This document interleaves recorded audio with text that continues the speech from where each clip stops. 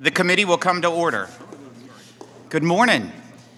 Like many Americans, seniors and those living on fixed incomes have been decimated by President Biden's inflation crisis. The cost of goods and services has risen 17.7%. 17.7 since Joe Biden became president.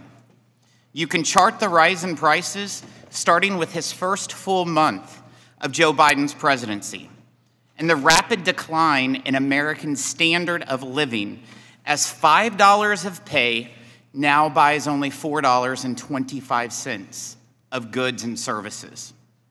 Yet Democrats in Congress and the Biden White House insist the economy is as healthy as ever. Not only has President Biden's inflation crisis harmed working families, but it has also endangered millions of seniors and those nearing retirement.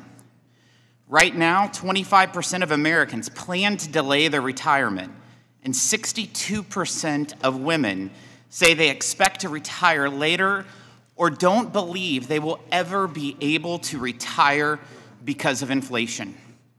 Every single day, roughly 10,000 baby boomers reach retirement age. Yet, due to the president's cost of living crisis, one in six seniors are considering going back to work. The number one reason they cite is simply lack of money. Seniors who retired before President Biden took office haven't been spared either. Inflation has eroded retirement accounts for even the most diligent saver, savers. For example, a retirement portfolio valued today at $250,000 would buy the same amount of goods as $137,100 in 2000. Make no mistake, the Democrats' reckless spending agenda caused this problem. And now their radical ESG agenda threatens what's left of seniors' retirement. Democrats are trying to enshrine so called environmental, social, and governance ideology into America's financial system by removing protections for savers in the tax code. This political crusade threatens the 33 trillion Americans have saved for retirement. As a committee, we have responsibility to ensure that tax advantage retirement plans offer security to American seniors and future retirees. The tax code imposes strict requirements on every professional who manages tax advantage retirement plans in order to protect our seniors. The law states that state governments and the private sector must manage these accounts for the exclusive benefit of retirees. This standard has been in place for decades, and it predates rulemaking by the Department of Labor on fiduciary duties. Working families need that protection to prevent Wall Street money managers from putting climate alarmism, alarmism and far left policies ahead of their retirement security.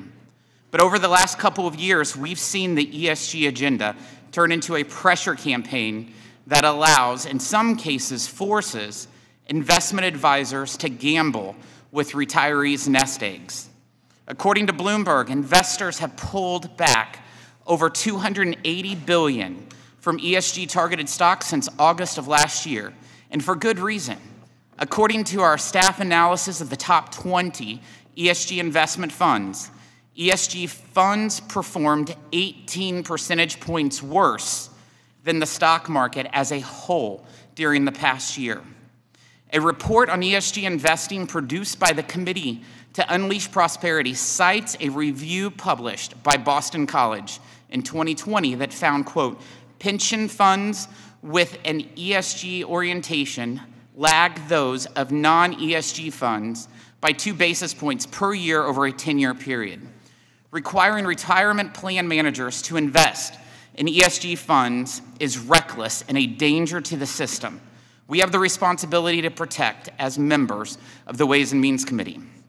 The Trump administration's Department of Labor issued rules prohibiting Wall Street managers from investing Americans' retirement savings in woke ESG special interest. The purpose of the rules was to remind retirement plan managers of their sole responsibility protect and build retirement security. The Biden administration reversed course with a superseding rule that favors ESG activism, and then went as far as to veto a congressional resolution back in March that would have corrected this error. This committee has a duty to ensure that our tax rules support Americans' financial security. We have a responsibility to put the needs of seniors ahead of climate extremists and far left activists who want to use retirement savings to finance a political agenda. I hope my colleagues on the other side of the aisle will do what's right and join us in protecting our seniors. I look forward to today's discussion, and I'm pleased to recognize the ranking member, Mr. Neal, for an opening statement. Thank you, Mr. Chairman. I wish this was a markup. I'd be prepared to call the question. The last two Congresses will be remembered by those who watched carefully historic bipartisan retirement wins that this committee put forward. Many people have asked me how we'd follow those successes or what would be the contours of Secure 3.0. I'm working on it. I certainly never expected this majority would start retirement policy with broken legislation that is so far outside of our jurisdiction. I'd argue that all policy areas are ripe for bipartisan progress, but especially retirement. And all we are offered here is a manufactured crisis meant to distract the base from the lack of legislating. Contrast that with the fruits of our legislative achievements. Last week, our nation crossed the threshold of 14 million jobs created under Joe Biden. The unemployment rate below 4% for 21 months in a row, the longest stretch in 50 years. Meanwhile, more working age Americans have jobs than they did before the pandemic. Inflation has fallen by 60%, and the economy, remarkably enough, grew by 4.9% last quarter.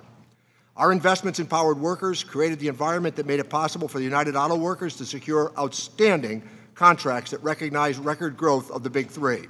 Their wage wins, more paid leave, stronger retirement security, and other wins will reverberate throughout our economy and continuing strengthening the job market. None of this happened by accident. It's the result of the growing economy from the bottom up and the middle out, and Democrats have continued to rewrite the playbook, putting American workers and families first and doing away with Republican failed trickle down uh, economics that reward the wealthy and the well connected. The key piece of economic security is retirement savings. Democrats will continue to defend the principle and belief of the Social Security retirement system. Retirement policy has also been the focus of my career, as everybody knows. I'm extremely proud of what we've done with the bipartisan work from this committee that made it easier to save. In the Secure Act, we eliminated outdated barriers, making it easier for small businesses to offer retirement plans and required part-time workers to be included in 401k plans. From these changes, it is estimated that 4 million Americans will now be able to participate in their employer retirement vehicle. Last year, we doubled down on the success with Secure 2.0, which expanded the saver's credit to the benefit of lower income savers and automatically enrolls eligible workers in those plans. These changes have made serious headway in making it easier for working Americans to save for retirement. Ways and Means Democrats did the right thing for red states and blue states by fighting to include the Butch Lewis Act in the American Rescue Plan. A reminder when that legislation was on the House floor separately, 30 Republicans voted for it. After a lifetime of playing by the rules and saving for retirement, millions were at risk of losing their hard earned pensions, and the provisions that came out of this committee saved families and our economy from irreversible harm. Today, 770,000 plans have already been rescued, Two million people tonight will get a good night's sleep because of what we did. While this is welcome progress, there is still a retirement crisis in our country. Half the people that get up and go to work every day in America are not in a qualified retirement plan. About half, half of all working age households are at risk of being unable to maintain their pre retirement standard of living. There is work to be done in the retirement space, and the best way to ensure that Americans are saving more is helping them make more. And that's what we should be talking about this morning. Yet here we are, following one of the most productive Congresses in recent history, with now one of the most unproductive. The biggest threats to Americans' retirement security are calls for cuts to Social Security, which have come from two Senate prominent Republicans, and the obsession and the hysteria with fringe issues, which clearly are not part of this committee's jurisdiction. Could you imagine a lifetime of hard work when you're being told by some that you cannot choose how to invest your retirement savings? The public isn't interested in being told what to do by the government. Politicizing retirement policy jeopardizes workers' hard earned savings, and that's the last thing the American people need. We should be focused this morning on enhancing retirement opportunities using the tax code, marrying it to the continued support we have for Social Security, and offering an opportunity for all Americans to save more. We are 22nd in the world in terms of retirement savings. We should be far ahead of countries like Denmark and Iceland as we proceed. So with that, Mr. Chairman, I look forward to the testimony we're about to hear, and I yield back the balance of my time. Thank you, Mr. Neal. I will now introduce our witnesses. Preston Rutledge is principal and founder of Rutledge Policy Group LLC and the former Assistant Secretary of Labor for the Employee Benefit Security Administration. We have Jason Isaac is Director of Life Powered and is a former member of the Texas State House of Representatives. Marlo Oaks is the State Treasurer of Utah. Mason Ballet, Bole, Bole is Senior Vice President of First Bank and Trust Company and Brandon Rees is Deputy Director of Corporations and Capital Markets for the AFL CIO. Thank you for joining us today. Your written statement will be made part of the hearing record, and you each have five minutes to deliver opening remarks. Mr. Rutledge, you may begin when you are ready.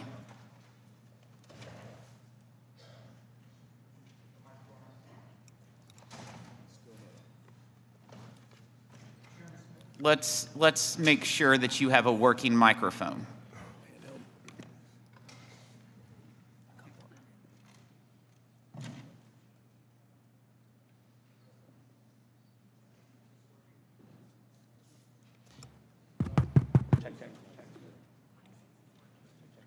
Can you move Mr. Isaac's microphone over to Mr. Rutledge?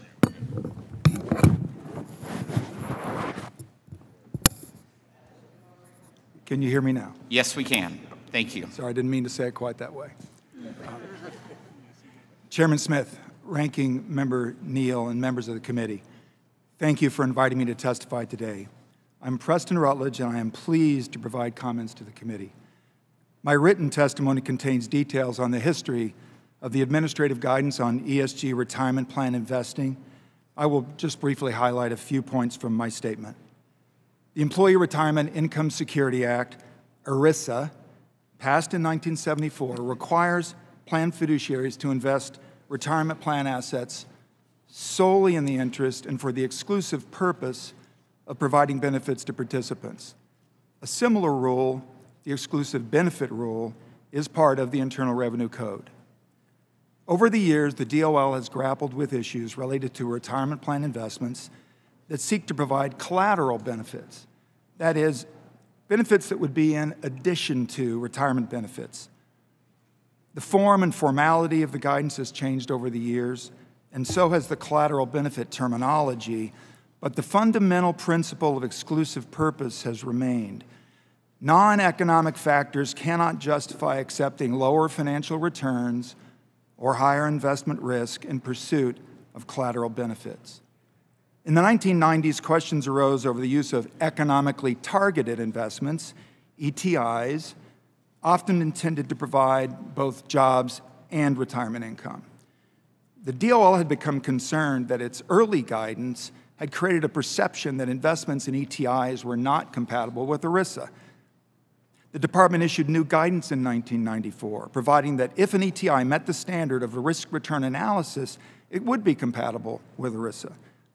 It later issued an opinion that came to the same conclusion with respect to the inclusion of a socially responsible mutual fund in a plan investment lineup. DOL replaced the 1994 guidance in 2008, clarifying that consideration of non economic factors, while allowed, should be rare and, when considered, should be documented to demonstrate compliance with ERISA. The guidance also provided that if two or more investments alternatives are of equal value to a plan, a fiduciary may choose between the investments based on a non financial factor. In 2015, the department expressed concern about confusion over collateral investment behaviors, such as ESG investing. New guidance concluded that the fiduciary standards applicable to ESG investing, including the addition of an ESG themed fund to a planned investment lineup, are no different than the standards applicable to plan investments generally. If the prudence and exclusive purpose standards are met, such investments will not violate ERISA, said the DOL. In 2020, the department issued the first ESG regulation that sought formal public comment. The 2020 final rule utilized the terms pecuniary and non pecuniary to describe financial and non financial factors for use in a fiduciary's risk return analysis. Now, that terminology derived from a 2014 Supreme Court decision stating that the exclusive purpose of providing retirement benefits under ERISA must be understood to refer to financial benefits such as retirement income and not non pecuniary factors. The 2020 DOL regulation also banned the selection of an ESG themed fund as a plan's default uh, investment. Now, a default investment is used by employees that do not make an investment choice. Actually, it's used by the employers because the employers haven't made an investment choice. They default into that. And the DOL was concerned that more protections were needed for plan participants who declined to make an investment choice. In 2021, the DOL engaged in new rulemaking. The DOL expressed concern that the 2020 rule discouraged plan fiduciaries from considering climate change and other ESG factors in investment decisions. The 2022 regulation removed the pecuniary and non pecuniary terminology and lifted the ban on an ESG themed fund as the plan's default investment as long as the fund was otherwise prudent. The department stated that fiduciaries may consider climate change and ESG factors, but that the new rule did not change the long-standing principle that ERISA plan fiduciaries may not accept lower returns or higher risks in pursuit of collateral benefits. This committee has always taken a leading role in promoting a strong and stable retirement system. It has provided significant tax subsidies and incentives to establish and operate reliable workplace retirement plans. The administrative guidance over the years has been remarkably consistent in supporting these core goals by making the focus on financial performance of retirement investments paramount. Thank you, Mr. Chairman. I am happy to answer questions. Thank you, Mr. Isaac. You're now recognized. Thank you, Chairman Smith, Ranking Member Neal, and members of the committee. I'm Jason Isaac, and I live a high carbon lifestyle. And I think the rest of the world should too. It's truly where you have economic prosperity and environmental leadership. From 2011 to 2019, I served nearly 200,000 people in the Texas Hill Country as a member of the Texas House of Representatives. During my four times, I primarily served, during my four terms, I primarily served on the Environmental Regulation Committee, the Economic Development Committee, and Energy Resources. And I learned that the United States is a world leader in environmental protection. We've reduced pollution nearly 80% over the last five decades. We're number one in the world when it comes to access to clean and safe drinking water. Today, I want to discuss with you the threats that the ESG agenda is posing on American retirement savings and why Congress must and should do everything in its power to stop this overreach in what is supposed to be a free market with fiduciary duty. In just the past year, not one of the largest individual ESG labeled funds performed better than either the S&P 500 or Nasdaq. Aggregate returns on the top 20 largest ESG labeled funds were negative 0.2% during the past year, while the S&P and 5 S&P 500 and Nasdaq were up 19 and 25% respectively. Concerningly, these ESG labeled funds have over $170 billion in total assets under management, tossing Americans' hard earned retirement savings to the wayside in the name of this insane agenda. Now, over the past 10 years, so called clean energy stocks have significantly underperformed the market as a whole, with the S&P 500 Clean Energy Index returning a mere 4.5% annually compared to 11.5% annual returns for the S&P 500. The ESG bubble in 2020 was a result of low interest rates, government largesse, and investor enthusiasm that wind and solar and similar technologies would soon outpace fossil fuels in the energy marketplace. This past year, has shown that enthusiasm to be misplaced.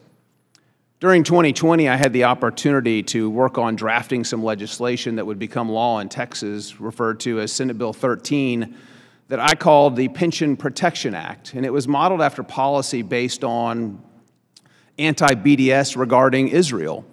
I think nearly three dozen states have passed legislation that says if you boycott, divest, or sanction the state of Israel, you're no longer welcome to do business with that state. And so I crafted a bill that said that if you boycott, divest, or sanction fossil fuels, you're no longer welcome to do business with the state of Texas. That bill passed in 2021 with overwhelming bipartisan support in both the Texas House and the Texas Senate and became law, I believe, early June of 2021. And today, the world's largest financial institution, BlackRock, is on the boycott list in Texas and is currently experiencing billions of dollars being divested because they're weaponizing retirement and pension dollars against the best interest not only of Texas, but of our nation, of our economic prosperity, and of our national defense. Again, it had overwhelming bipartisan support. I appreciate the opportunity to be here today and look forward to answering your questions. Thank you, Mr. Chairman. Thank you. Mr. Oaks, you are now recognized. Chairman Smith, Ranking Member Neal, members of the committee, thank you for inviting me to testify before you on the impact of ESG on retirement security. Masquerading as a sophisticated, holistic, and enlightened way of creating shareholder value, ESG is, is a dangerous investment scheme. Proponents of the framework argue ESG is designed to provide investors with more information to make better informed decisions. This is misleading. In truth, ESG has created an uncontrollable impulse to pressure corporations to solve complex global and societal issues. These issues, such as climate, income inequality, guns, and abortion, to name just a few, should be in the purview of a democratically elected government. ESG hijacks corporate governance to advance ideological objectives often divorced from and even detrimental to long term shareholder value. It opens the door to coercion, bullying, and other forms of compulsion by activist shareholder proponents with little skin in the game. This happens in collusion with and the assistance of the foreign owned duopoly of ISS and Glass Lewis. They are joined by large institutional shareholders who manage billions of dollars in state owned pension funds. The goal of ESG is not better financial performance, it is to force compliance to one view. The ESG trend that has infiltrated our capital markets will undermine our free market system, harm our economy, and erode the retirement security of hardworking Americans. ESG is incompatible with free markets. The E in ESG is focused on pursuing net zero carbon emissions. However, the primary objective is to transform the global economic system. Just ask Christiana Figueres, who oversaw the writing of the Paris Climate Agreement. She said in 2015 the true goal of pursuing climate change initiatives is to abandon the economic model that has been the engine of global growth for 150 years. In fact, a United Nations commissioned report in 2018 predictably con concluded we cannot fight climate change with capitalism. The markets allocate capital to environmental solutions by investing in innovation However, when politics force an ideological agenda and get enough participants to behave one way, markets stop functioning. The buying and selling of the same security on any given day requires different views about the future, or trading will not happen. ESG dangerously moves the market to one view, the perspective of a small group of like minded individuals, that is generally subjective and controversial. Simply put, ESG destroys markets. ESG politicizes financial decisions. Americans put their trust in investment managers to grow their money for important savings goals like retirement, education, and future emergencies. Investment managers have a fiduciary obligation to focus solely on creating returns for investors. In 2022, the Department of Labor foolishly loosened this fiduciary standard. Plan sponsors and investment managers now have a safe harbor to use politically motivated investment strategies in retirement plans as a default option. When a manager tries to achieve a dual purpose, there is the significant risk that returns will suffer or volatility will increase. Indeed, academic researchers surveyed 1,141 primary peer reviewed papers and 27 meta reviews based on about 1,400 underlying studies published from 2015 to 2020. They found a statistically significant negative relationship between ESG investing and investor returns. New federal regulations, proposed regulations, and the regulatory approach to applying existing regulations support activists inserting their ideological agendas through corporate proxy ballots at annual shareholder meetings. Yet many asset managers are supporting shareholder proposals related to ESG issues, such as racial audits and fossil fuel restrictions, even within non ESG investment vehicles. In the vast majority of cases, these proposals are driving environmental, social, and political agendas that are not aimed at furthering shareholder value. In fact, multiple research studies have shown ESG related proxy measures often have a detrimental effect on financial returns. In conclusion, ESG represents the greatest threat to our economic engine, which has produced more innovation, wealth, and opportunity than any other economic system in the history of the world. And that is the real problem with ESG. We will either have ESG and the economic coercion, coercion that system ushers in, or we will maintain our economic freedoms. Thank you. Thank you. Mr. Bole, you are now recognized.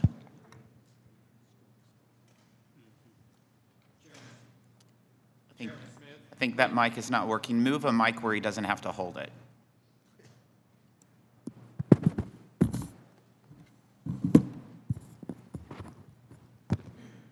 Chairman Smith, Ranking Member Neal, and distinguished members of this committee, thank you for the opportunity today.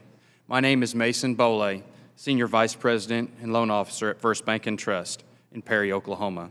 I am testifying today on behalf of the American Bankers Association and the Oklahoma Bankers Association and First Bank and Trust.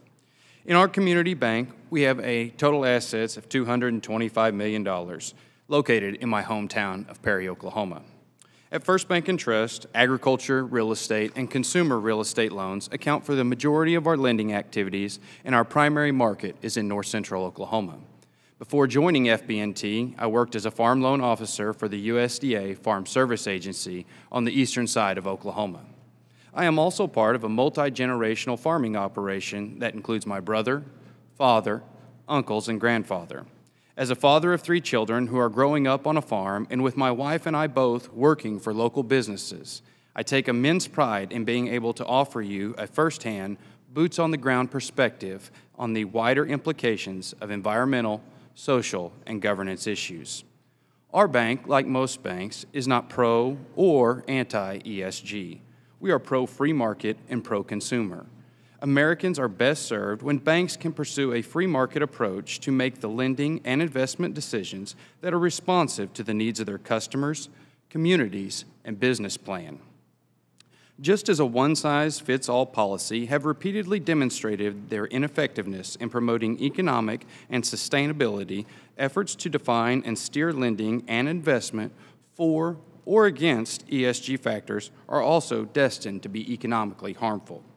The governance of banking institutions should remain focused on the risks they manage and be tailored to account for their size, complexity, and the specific norms in which the regions they operate attempts to employ banking regulations as a means of indirect lending as other industries, whether to discourage or compel and investment, are both unsustainable and detrimental to the economy, consumers, and the principles of a free market. In Oklahoma, community banks play a vital role in supplying capital for a diverse array of services, from production agriculture and the logging industry to freeze dried candy food trucks. These credit decisions hinge on character, capacity, capital, collateral, and conditions. Our policies are established in our boardroom and upheld by all of our staff members. Each bank has the flexibility to either foster or curtail loan growth of their portfolio in any given industry. We firmly hold the belief that local decisions, driven by a precise analysis of risk and reward, should remain uninfluenced by irrelevant politically driven considerations. Attempts to apply ESG in context of retirement accounts is particularly troubling. It's essential to prioritize stability and profitability to attain the retirees' objectives, and making decisions based on ESG considerations may not be conducive to achieving long term financial benefits. Fiduciaries need the Fiduciaries need the discretion to respond to the constantly changing financial landscape and the freedom to best represent the factors in which of the wishes of their clients, some of whom, but not all, may like to focus on ESG related factors. Government mandates imposing ESG principles, though well intentioned, may not pose, may pose challenges for small businesses, including farms and ranches like mine. Adding more environmental regulations and sustainability demands can place significant financial burdens on farmers and ranchers, particularly those who are just beginning or have limited resources. Compliance often necessitates investment in new equipment and technologies, impacting the profitability of operations. Finding a balanced approach is crucial, one that recognizes unique challenges that small businesses face Instead of ESG regulations, the federal government should be focusing on ways to make sure that farmers have risk management tools at their disposal. For example, passing a strong, improved farm bill while maintaining and strengthening crop insurance will ensure that we have farming and ranching sectors remain viable. Banks have always cared about issues impacting environmental, social, and governance as they relate to their customers, communities, and business model. What is new are regulatory and legislative efforts to intervene in banks' lending and investment decisions by picking and choosing which ESG related issues that policymakers seek to favor or disfavor. This runs counter to the free principles, free market enterprises that has made the U.S. economy and our banking system the strongest in the world. We should not go down that path. I welcome your questions. Thank you. Mr. Rees, you are now recognized.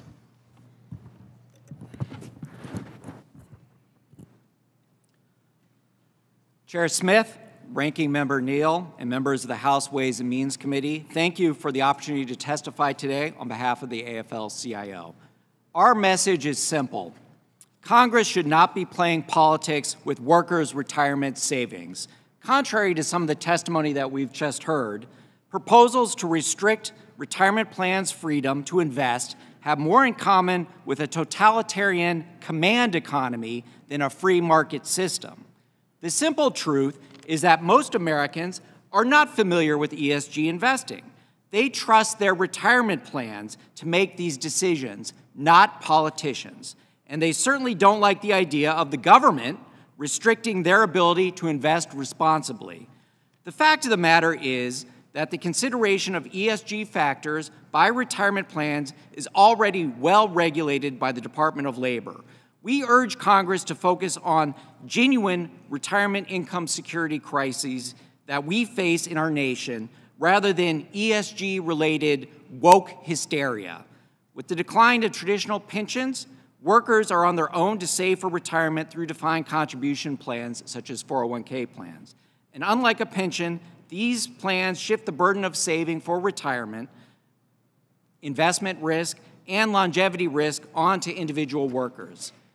As a result of this shifting of responsibility, most Americans are ill prepared for retirement. According to the 2020 census, the median account balance for defined contribution plans and IRA accounts is about $30,000. At a prudent 4% withdrawal rate, $30,000 in retirement savings can support just $1,200 in annual spending, or about $100 a month. This is hardly enough for a dignified retirement after a lifetime of work. Of even greater concern, nearly half of all Americans do not have a retirement plan account or individual savings account at all. For these workers, Social Security is their only form of retirement security. Social Security is our nation's nearly universal pension, and its funding needs can be addressed without benefit cuts. We strongly oppose benefit cuts of any kind, and Congress must strengthen Social Security by getting rid of the cap on taxable earnings for high earners and by expanding benefits. Workers find it hard to save for retirement for a variety of reasons. First and foremost, low wages make it hard to save. We must strengthen the freedom of working people to come together in unions to be able to negotiate with their employers for higher wages and improved retirement benefits restore balance to our economy between working people and corporations, we urge Congress to enact the Richard L. Trumka Protecting the Right to Organize or PRO Act. The union difference in working people's ability to save for retirement is significant. On average, union workers' weekly earnings are 18% higher than non union workers.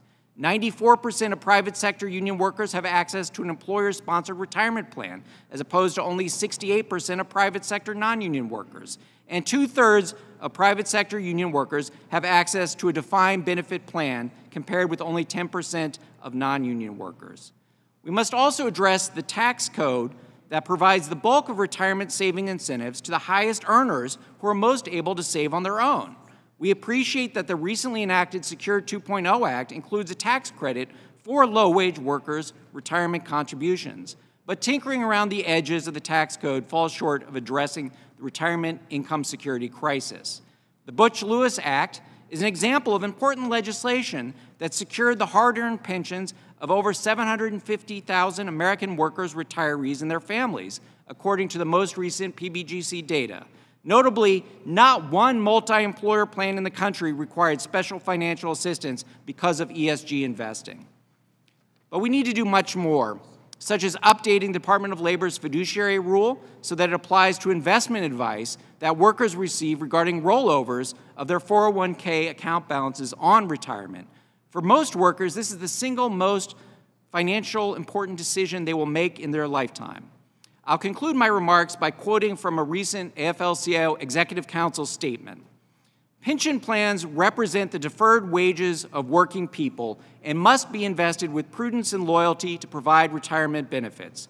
The proper stewardship of retirement savings requires the freedom to consider all relevant investment considerations, including ESG risks.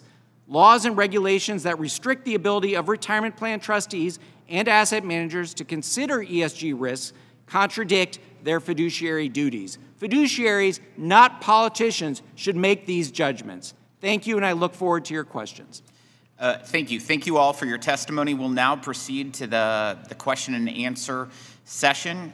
Mr. Rutledge, retirement plan assets are invested to maximize retirement security, not just because it's a good idea, but because it's the law. Why is it important that retirement plan trustees manage funds for the exclusive benefit of American savers and not for ESG or other non financial goals? Well, the importance is over the course of a working person's career, the, the, you've got the contributions a person makes, the deferrals a person makes, but the, but the assets are in a trust for the person's working career and it's the interest earned, the investment return earned on that, that account that makes up a very substantial portion of the amount of money they have when they finally do reach retirement age. The focus needs to be, and has been, I believe, on maximizing investment performance.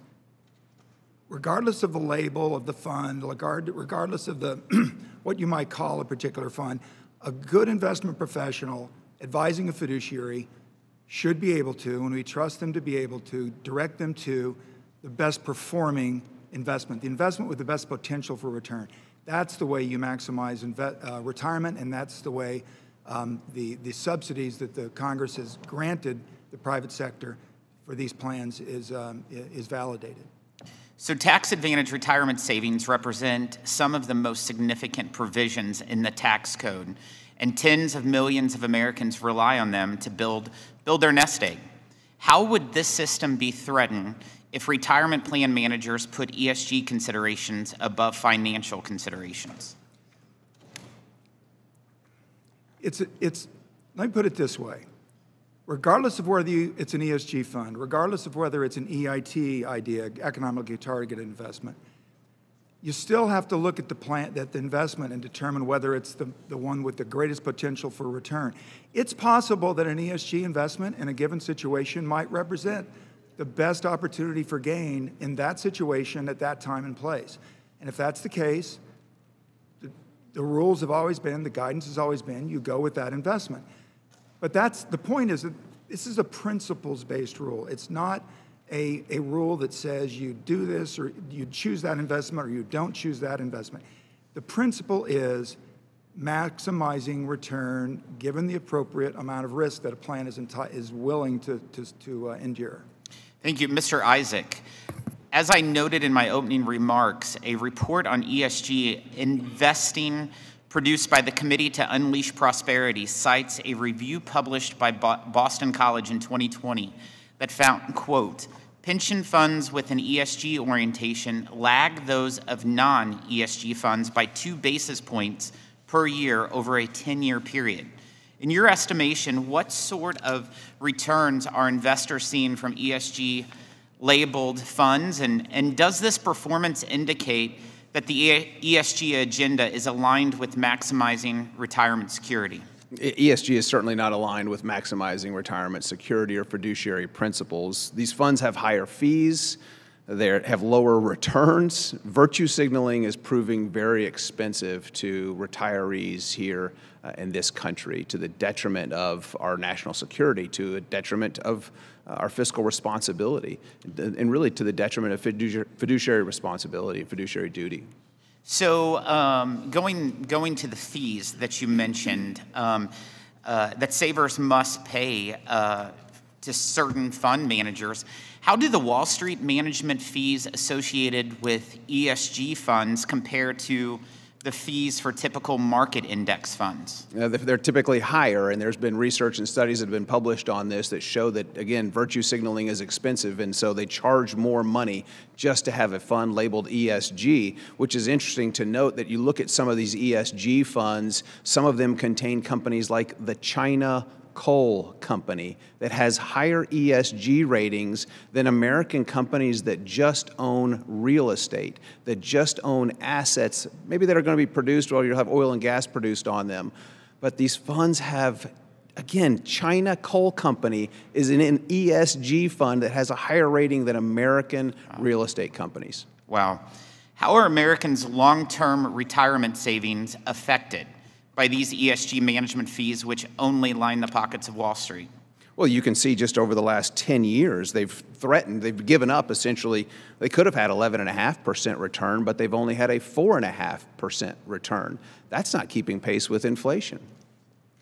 So, Mr. Bolle, as you know, we held a successful field hearing back in March across the state from you in Yukon, Oklahoma. There we heard how the Biden economy has harmed hardworking uh, families, farmers, um, oil and gas producers um, in your state. How do those same folks feel the impact of ESG activism? Thank you for the question, Chairman. Um, across the state of Oklahoma. We appreciate you guys coming uh, and to see actually what was going on on the home front. That was very refreshing for the people on Main Street. Um, our our people, the Main Street, the small towns and bit, small communities, small businesses. Um, we're not pro or anti. I did a quick straw poll before I left and asked about uh, local businesses' thoughts on ESG, and most of the time I had to explain it. But after I explained it, they said, you know, we want, we want the freedom to choose those things. We do not need a ESG mandate for anything on Main Street. So, what hurdles does the ESG agenda create for your bank and its goals of helping small businesses and building the community? Again, uh, Congressman, I go back to any any mandates that are put on small businesses or small banks that we have to implement uh, create a significant financial burden for us. Additional regulations, mandates are tough for us to implement. Thank you. I now recognize Ranking Member Mr. Neal for any questions he might have. Thank you, Mr. Chairman. So, during my time as mayor of Springfield, a long time ago, I decided in about 1986, I think, to sell all of the city's stocks in South Africa. Do any of you disagree with that as a reasonable policy about an acknowledged apartheid state? I wasn't looking for a Nobel Prize. I didn't even know what ESG was. Nobody was talking about it. I thought it was reasonable policy. And by the way, apparently, according to de Klerk, it prevailed. I don't think that we're lecturing anybody here on what to do. That's certainly not my position. But I don't think that the argument that we're having today should get in the way of us acting on responsible and reasonable policies in the retirement space. So the Butch-Lewis Act. If we did not do the Butch-Lewis Act, which I said 30 Republicans in the House voted for as a standalone measure, it would have taken down the PBGC. Guaranteed to. So the requests I had from Ohio came from business concerns who said because of mergers, acquisitions, and simply outdated policy, their plans were going to be forfeited, which in time would have taken down the entire system. So when we talk about what has been my passion, retirement security in Congress, people struggle to save for retirement, and they play, as Mr. Rees said, by the rules. Their whole lives, they play by the rules. So for strong retirement benefits, people need issues like paid leave. The achievements of the UAW last week in Detroit are historic.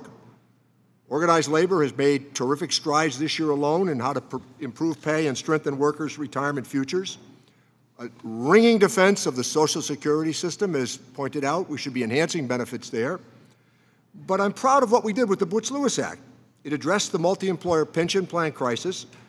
Two million people are going to get a better night's sleep because of what we did, including Republican members of this committee who voted for it as a standalone on the floor even if they didn't vote for it in the American Rescue Package.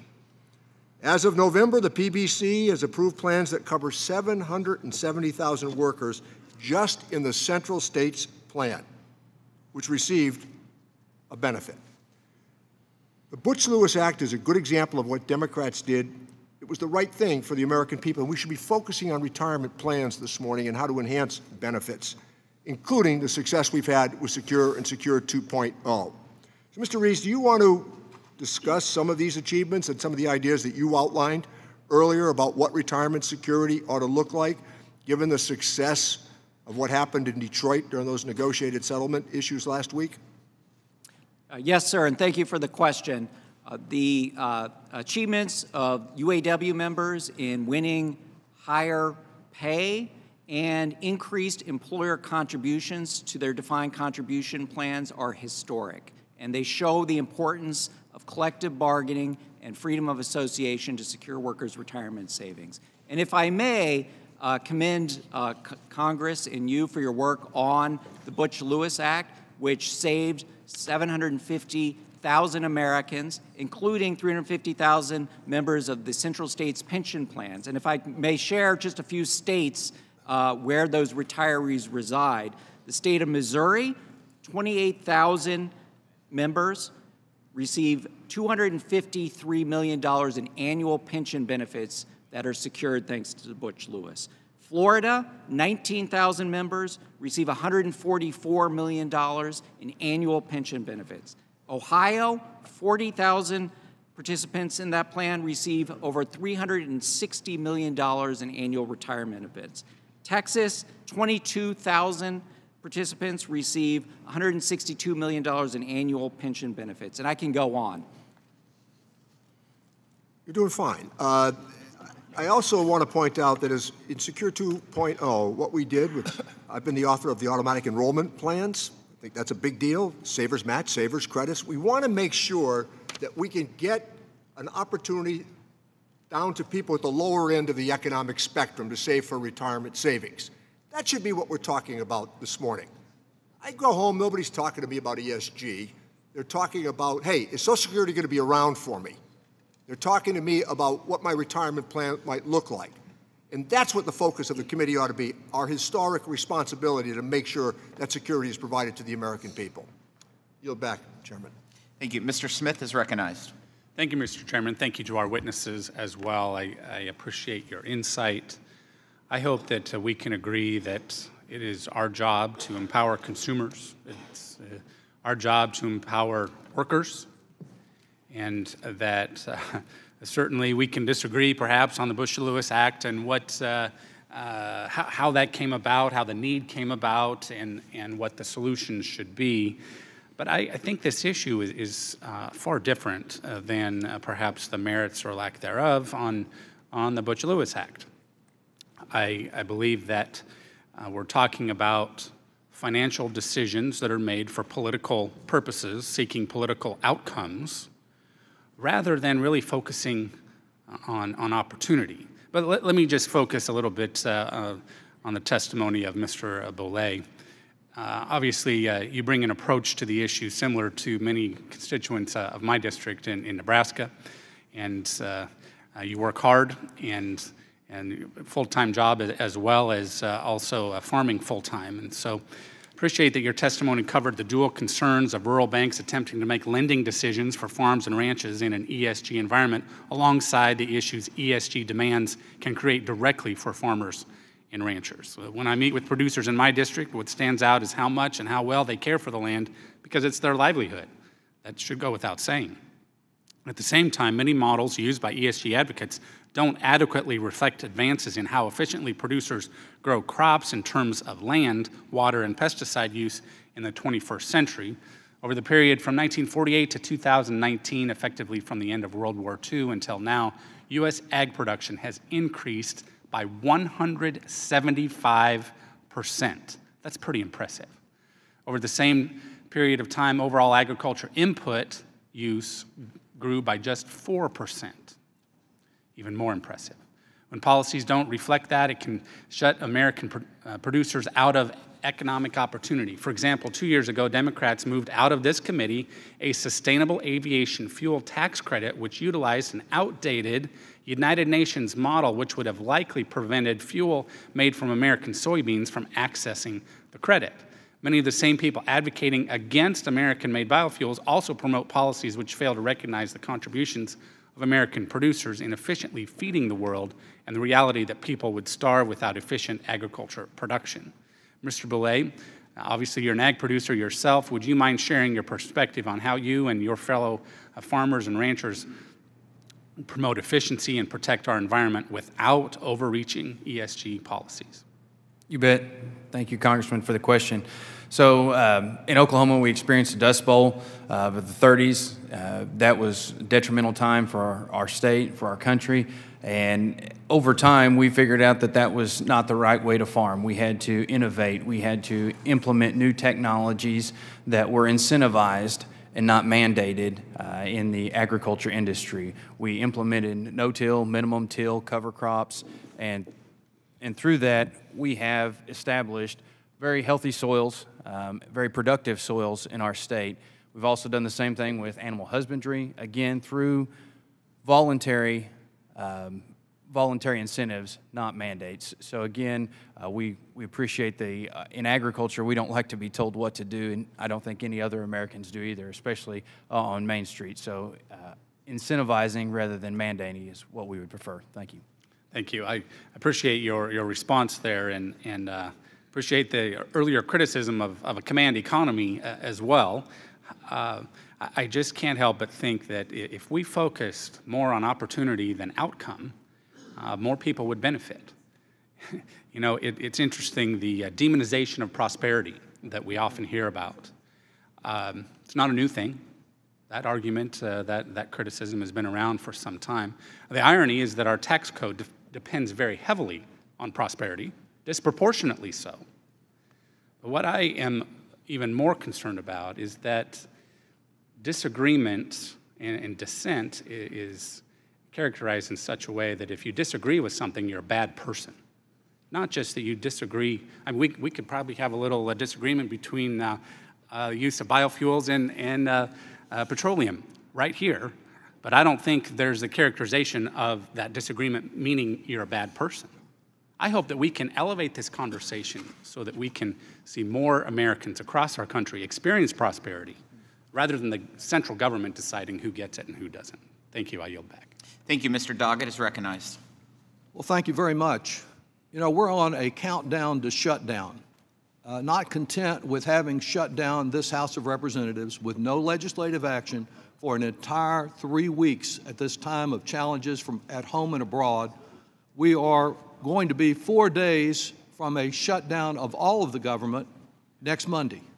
We could be acting on this today instead of this nonsense, tomorrow, Thursday, Friday, but no, Speaker Johnson and these Republicans have decided to delay it until the very eve of the shutdown and are expecting to resolve with the Senate all differences on some bill they have not laid out until at the earliest Monday and maybe Tuesday, Wednesday, or Thursday of next week.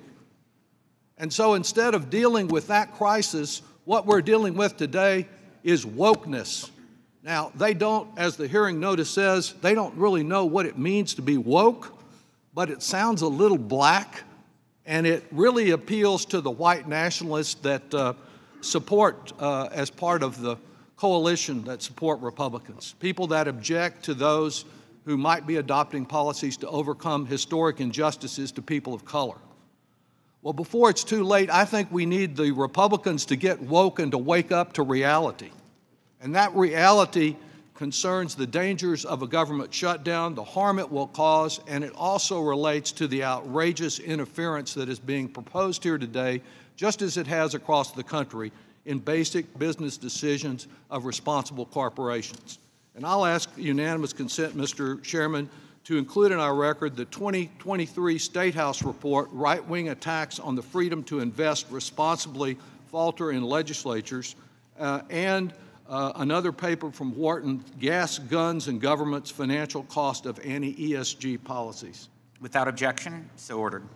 And turning to the first of those reports, uh, the, uh, this comment, what you have in front of you is probably the most anti-free market bill that you'll see this legislative session.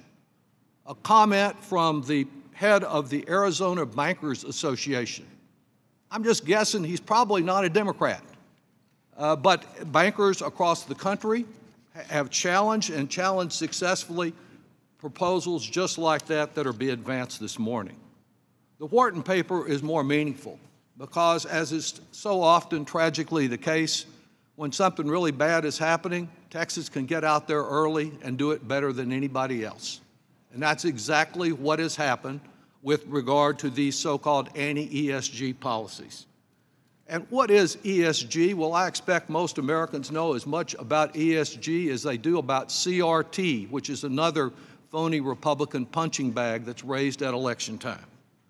It is about responsible corporations that consider the environmental consequences, the social consequences, and their governance, corporate accountability, whether corporations are accountable to their shareholders, and whether when shareholders ask questions about things like how much corporate money is being spent in dark investments to promote anti ESG policies, just like this morning, that the shareholders can find out about it. That the social policies consider the diversity of the workforce and whether the corporation is out there trying to reflect anti discrimination policies. But in Texas, we have experience with this because, Mr. Isaac pointed out, they were successful in adopting legislation. And what was the effect of that legislation? As reported in this paper, a study, uh, an objective study by one of the board members of the Federal Reserve and a finance professor uh, at uh, Wharton.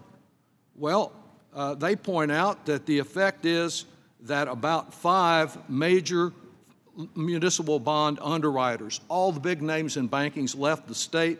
Texas issuers will incur 300 to 500 million dollars in additional interest on the first eight months after enactment of the bill. And if this same process continues, it will cost Texans about $416 million a year in additional borrowing costs. That's the kind of freedom that is being proposed here today. Uh, these uh, policies, this interference with business and basic responsible decisions doesn't protect retirement funds, it costs retirees and local governments. All of this from a group that has gone from denying climate change to obstructing efforts to address climate change and now to trying to reverse action for responsible protection against the overheating of our planet, which any sensible person can see going on around them every day. I yield back. Mr. Kelly is recognized. Uh, thank you, Chairman, and thank you all for being here today. This is interesting uh, conversation. Uh, I'm actually in the private sector, so I'm like you, Mr. Bollea.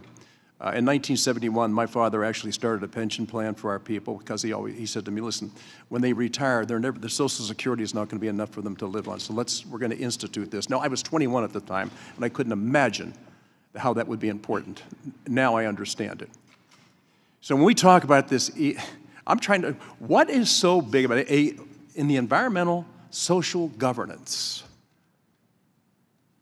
So I keep hearing, uh, when we come to the, any of these things and have these discussions, the average person doesn't have any idea how to invest his or her money. They're just not smart enough to do it. So the government has to get involved. And so we have something called ESG because if people aren't going to be environmentally aware, socially aware, and aware of governance, we've got to shove it down their throat. Doesn't, really, doesn't matter what the return on the investment is because that's just too bad. You dumb, stupid people need to understand that we know better than you do. Of course, we're $33 trillion in debt and going higher, but we'll be the ones to advise you on how you should make your investments. This is absolutely insane that we're even having this conversation. As far as Butch Lewis is concerned, I absolutely agree with it. And it was really great. The taxpayers bailed out the Butch Lewis Fund and put in charge the same people who bankrupted it to watch it going forward. Good, good, good move. Good move. Uh, as far as the UAW, I'm a Chevrolet dealer. I understand about how cars are built. I understand the importance of having great labor. I understand it, making sure they're, that they're compensated. Um, I agree with all that. I agree with all that. That's not the problem. The problem today is how are we telling people how they should invest their money and where they should invest their money because actually it just doesn't pan out when you look at the actual figures. Mr. Bollea, if you can, just please try to explain the dual role that you have as a farmer, as a rancher, and what you're doing, and also as a banker, and your responsibility to those people who put money into your bank. Thank you. Thank you for the question.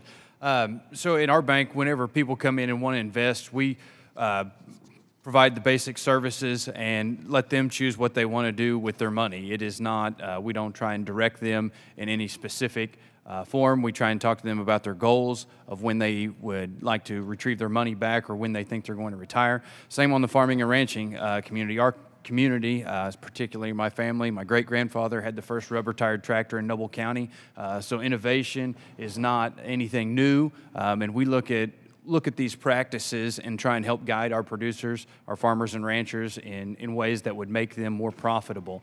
Um, a lot of the science and technology is new, so jumping in feet first isn't always the best option. You want to read and make sure it's correct before we go and try and move a tremendous amount of acres to those types of farming and ranching practices. Yeah, but again, you're, you're, you're looking forward at things that are best. I, I, I just don't like uh, a company that's run so poorly as this government is, is people telling you how you should invest your money. Mr. Isaac, you really hit on some things that I thought were really important. You talked about China a little bit, so I think it's really great that we are able to put ourselves out of business and put them in, in better business uh, mode. Tell me about the effect it's having on us. Yeah, we are. We're actually having companies that are pulling funds out of American companies and they're putting them into Chinese companies. You look at BlackRock investments in companies like Evergrande, and uh, Country Garden, these two real estate ventures that have BlackRock has about a three and a half percent share. Now, I, I, use BlackRock because they're investing in these Chinese-based companies. They have the right to do that because they've partnered with the CCP right. to do that, and they're taking American pension dollars, people that are planning and counting on that for a retirement. And both of those massive Chinese real estate companies are failing right before our eyes. And the detriment and the threat is to those retirees' pensions and losing their money and losing their investment that they're planning on for when they retire to the benefit of China and to the detriment of the United States. So for most investors, I know there's sophisticated investors out there, they're able to do these things on their own every day. But really, when we have people overlooking these funds and people are making decisions for us, the fiduciary responsibility to do it, and then looking at this ESG and trying to understand where does that fit in in the long-range investment of people who put their hard-earned dollars into a fund so at the end of their of their time of working, there would be something there. I, I, I, don't, I just don't see it. Maybe, maybe somebody does see it. I don't see it. And I thought the whole purpose of this meeting today was to talk about the actual investments that we were making and people not being able to do it on their own because, quite frankly, they're too busy. And I, I am amazed. I, I keep hearing about how good the economy is doing. I think people need to let the American people know that the economy is going well because where I am, people can't understand it. I do all the shopping for our family because my wife won't go with me. She can't stand to have people tugging me aside and say, hey, get something done, will you? You guys let this energy thing get out of our way. And I said, you know what, elections have consequences, so God bless you. Just look in the mirror when you find out who voted the wrong way. Thank you, and I Thank yield you. back. Thank you. I now recognize Mr. Thompson from California. Thank you, Mr. Chairman, and thank you to the witnesses for being here today. And I especially want to thank Mr. Neal, the ranking member, uh, for, uh, and he, he, mentioned it, the work that we did in this committee in the retirement uh, security space. We did some great work and your work on, uh, on Butch Lewis. And I might add that uh, that was a pretty bipartisan effort with you and Mr. Brady. Uh, and I, I, I, just want to tell you how much not only those of us on the dais, but the people we represent appreciate that. But, Mr. Chairman, I've got to admit, I'm a little bit confused about the topic of today's hearing. Uh, this is the oldest committee in Congress. We have oversight over some of the most pressing issues faced by our constituents. And I'd, I'd just like to point out that woke retirement plans doesn't even crack the top 10 on the list of issues I hear about back home. I've heard repeatedly lately about Israel, Ukraine, the importance of clean energy, the, da the dangerous climate change that we face, uh, the dangers of gun violence, the potential government shutdown, and the dysfunction that kept us from doing our work on the floor for, all, for over three weeks. I've heard more about going about the uh, daylight savings time debate than I have about any woke retirement plans. And, um, and, I, and I, I, I think I know why, and I want to submit this for the record. You know, you just look at the economic um, uh, environment after we uh, our work in the, in the last Congress. 14 million jobs created under the Biden administration, unemployment rate below 4% for 21 straight months, the longest stretch in more than 50 years. Core inflation at its lowest level in two years. GDP expanded at 4.9% from July to September, and wages increased 1.2% in the third quarter. Mr. Chairman, I'd like to uh, submit this to the record. Without objection, so ordered. So now I, I, think investors should be permitted to take into account climate and other factors. In fact, I think that is simple economics. Does anyone think insurers don't factor climate change into their calculations? Uh, we all know they do. I mean, my district insurance companies are running out of my district because of climate change and the impact that the climate change uh, ramifications have had on my district. The fires that just ravaged uh, Northern California uh, as an, an example. Investors in retirement plans should take into account these risks and should not be dissuaded from investing in clean energy technology. Uh, that's why uh, legislation such as the Inflation Reduction Act, which included billions of dollars in green tax incentives, is so important in addressing uh, this issue. And it's not bad investment. It's not bad business practices. Mr. Chairman, for the record, uh, I would like to uh, submit this study from Morgan Stanley, uh, their Institute for Sustainable Investing, uh, that explains just that. It's good investment, and people are seeing a good return on that uh, investment. And with, I'd like to submit this for the record, Mr. Chairman. Without objection. Thank you. Ordered. So, um, Mr. Rees, on this point, um, the myths that uh, we're considering uh, today that clean energy technology would harm, harm retirees. Uh, is it true that current federal law imposes fiduciary duty on private sector retirement plan investors to make prudent investments on behalf of their clients? And if so, can you explain how that works and why this is a bogus issue today? Yes, sir, and thank you for the question. Uh, the Department of Labor has long regulated re retirement plan fiduciaries in the consideration of ESG factors, uh, and retirement plan fiduciaries understand that the consideration of ESG factors uh, must be considered through the lens of loyalty and prudence uh, in protecting retirement savings of, of the, the working people that they've been entrusted to protect. Uh, and so that, that has been uh, part of the record for, um, for many decades and most recently confirmed in the Department of Labor's 2022 ESG rule, as uh, uh, Preston explained. Thank you. so, testimony. combating climate uh, change will require both public and private investment. Is it safe to assume that anti ESG laws could cause financial harm for future retirees? Uh, yes, my written testimony refers to many of these state bills that are estimated to cost billions of dollars to state retirement systems uh, by enforcing blacklists against certain asset managers that consider ESG factors. Thank you very much. I yield back. Gentleman yields back. I now recognize Mr. Schweikert of Arizona. Um, thank you, Mr. Chairman. Um, and I don't want to be too much of a heretic here. Um, I'm a huge fan of something called information theory. Um, I'm sure everyone here is a big fan of George Gilder, the economist. He's both a friend and comes and visits me on a couple occasions, though he's getting, he's got to be 90 now. And the basic premise there is um, if you, have, you can have minimal regulation as long as you have quality information. Lots and lots and lots of information. He has this whole model that says 2008 would have never happened if we had the information what was in the bonds. You would have had price discovery, and, and you would not wake up one day and say, oh God, what's going on in the bonds, and they collapse. But this is, um, and for you know, our, our friend from you know, the union representative to some of the others, let's actually have a bit of an honest discussion here for a moment. Okay, so some of our activists want disclosures on you know, potential theoretical, whatever you want to say, in regards to environmental impairments. Um, and I wasn't able to finish the math before it became my time, but my math says in about 18 years, you'd have to double every single US tax to stabilize um, spending, to, to just keep current services. All US taxes have to double. Shouldn't that be disclosed? I mean, should, should because um, if you double taxes, the majority of businesses in the, in the Russell are actually upside down. They would have negative.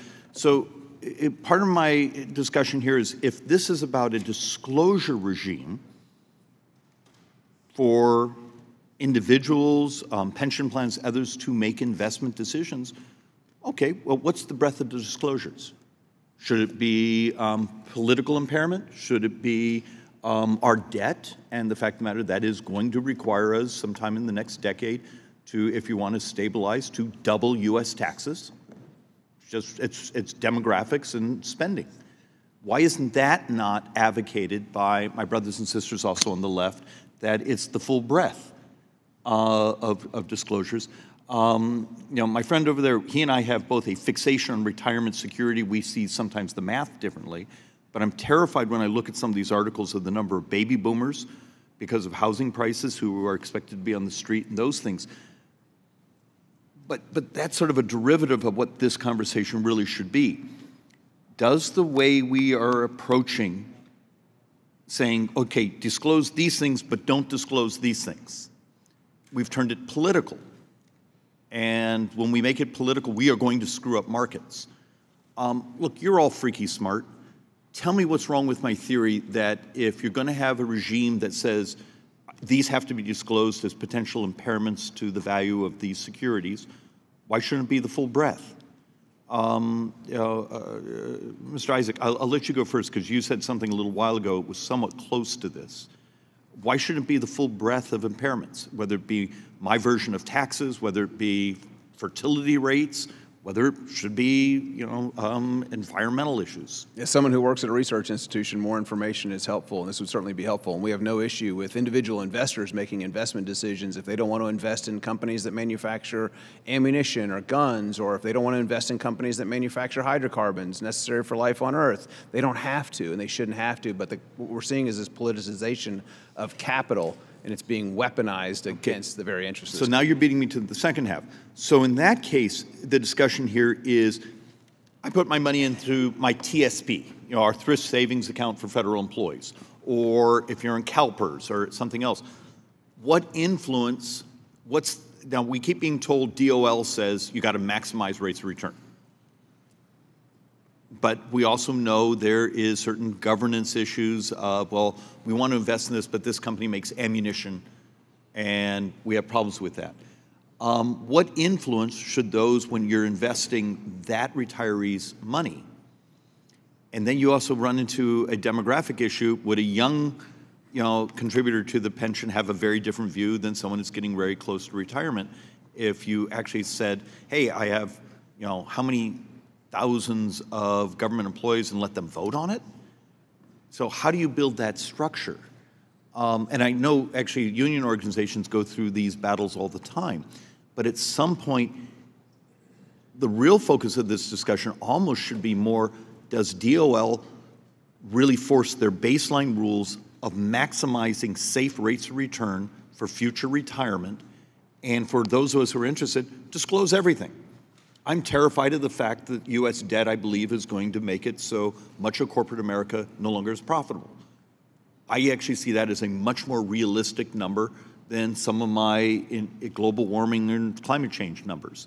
Disclose both of them. And with that, I yield back. Gentleman yields back. I ne uh, next uh, recognize Mr. Larson of Connecticut. Well, thank you, uh, Mr. Chairman, and uh, I thank you for your opening uh, remarks. Well, not you, Mr. Smith. You weren't in the chair at the time, but uh, and you're concerned about the elderly and seniors. I, I think it's profound. And so here we are talking about a subject matter today, as several have pointed out, we're on the verge of a governmental shutdown. We have major issues in front of us. And when it comes to protecting seniors, we're concerned about an issue that impacts 4% of people who have 401ks.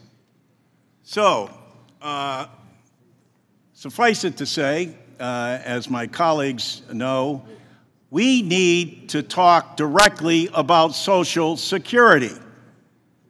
That is the responsibility of this committee.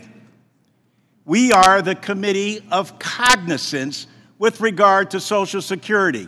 Congress has not enhanced Social Security in more than 52 years.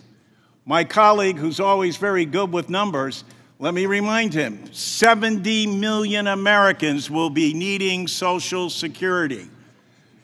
70 million fellow Americans, and yet Congress has stood still and not enhanced Social Security since Richard Nixon was President of the United States. Not only do we sit here and say we're trying to help out seniors today, what a joke. 10,000 baby boomers a day become eligible for Social Security, and the Committee of Cognizance should be holding hearings on Social Security and talking about what you plan to do for it. We have our plan. We want to extend the solvency, we want to extend benefits. We want to make sure that the more than 5 million fellow Americans who get below poverty level checks now get uplifted. We want to make sure that we provide 23 million Americans a tax cut.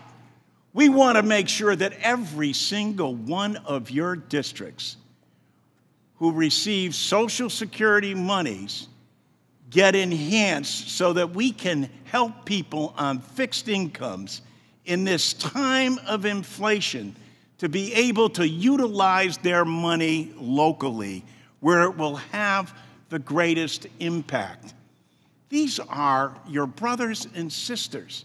These are family members. It is an embarrassment and a disgrace that in the United States Congress, we cannot address the nation's number one anti poverty program for the elderly the number one anti poverty program for children. And we're in a committee today talking about an impact of 4% on people with 401ks. I hope the American public is listening. There are solutions that are out there. Let me ask the audience how many of you out there make more than $400,000 a year? Raise your hand. funny thing about that, President Biden has said very simply, we can fix this issue by simply lifting the cap on people making over $400,000 a year.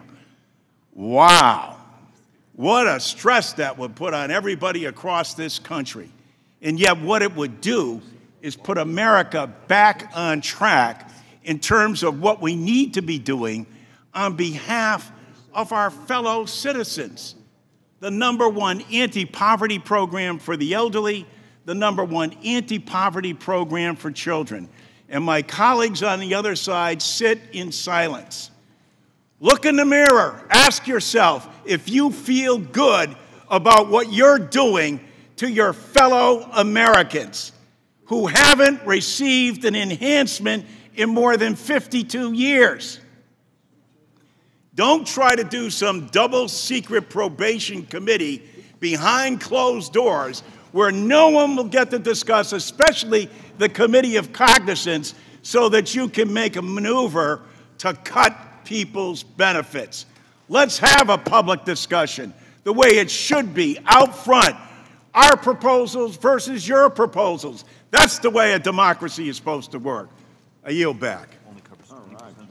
Gentleman yields back. I, I do want to emphasize that even if we subjected all Social Security, uh, all earnings to Social Security payroll taxes, let's see, the numbers say that Social Security would still have about a $10 trillion shortfall over the next 75 years. I think these are important data points uh, to, to keep in mind as we, I hope, have a bipartisan discussion to solve. What about a bipartisan plan? That uh, uh, we, we had a bipartisan action uh, to help clergy uh, just uh, recently, and, and I think we can focus on that moving forward.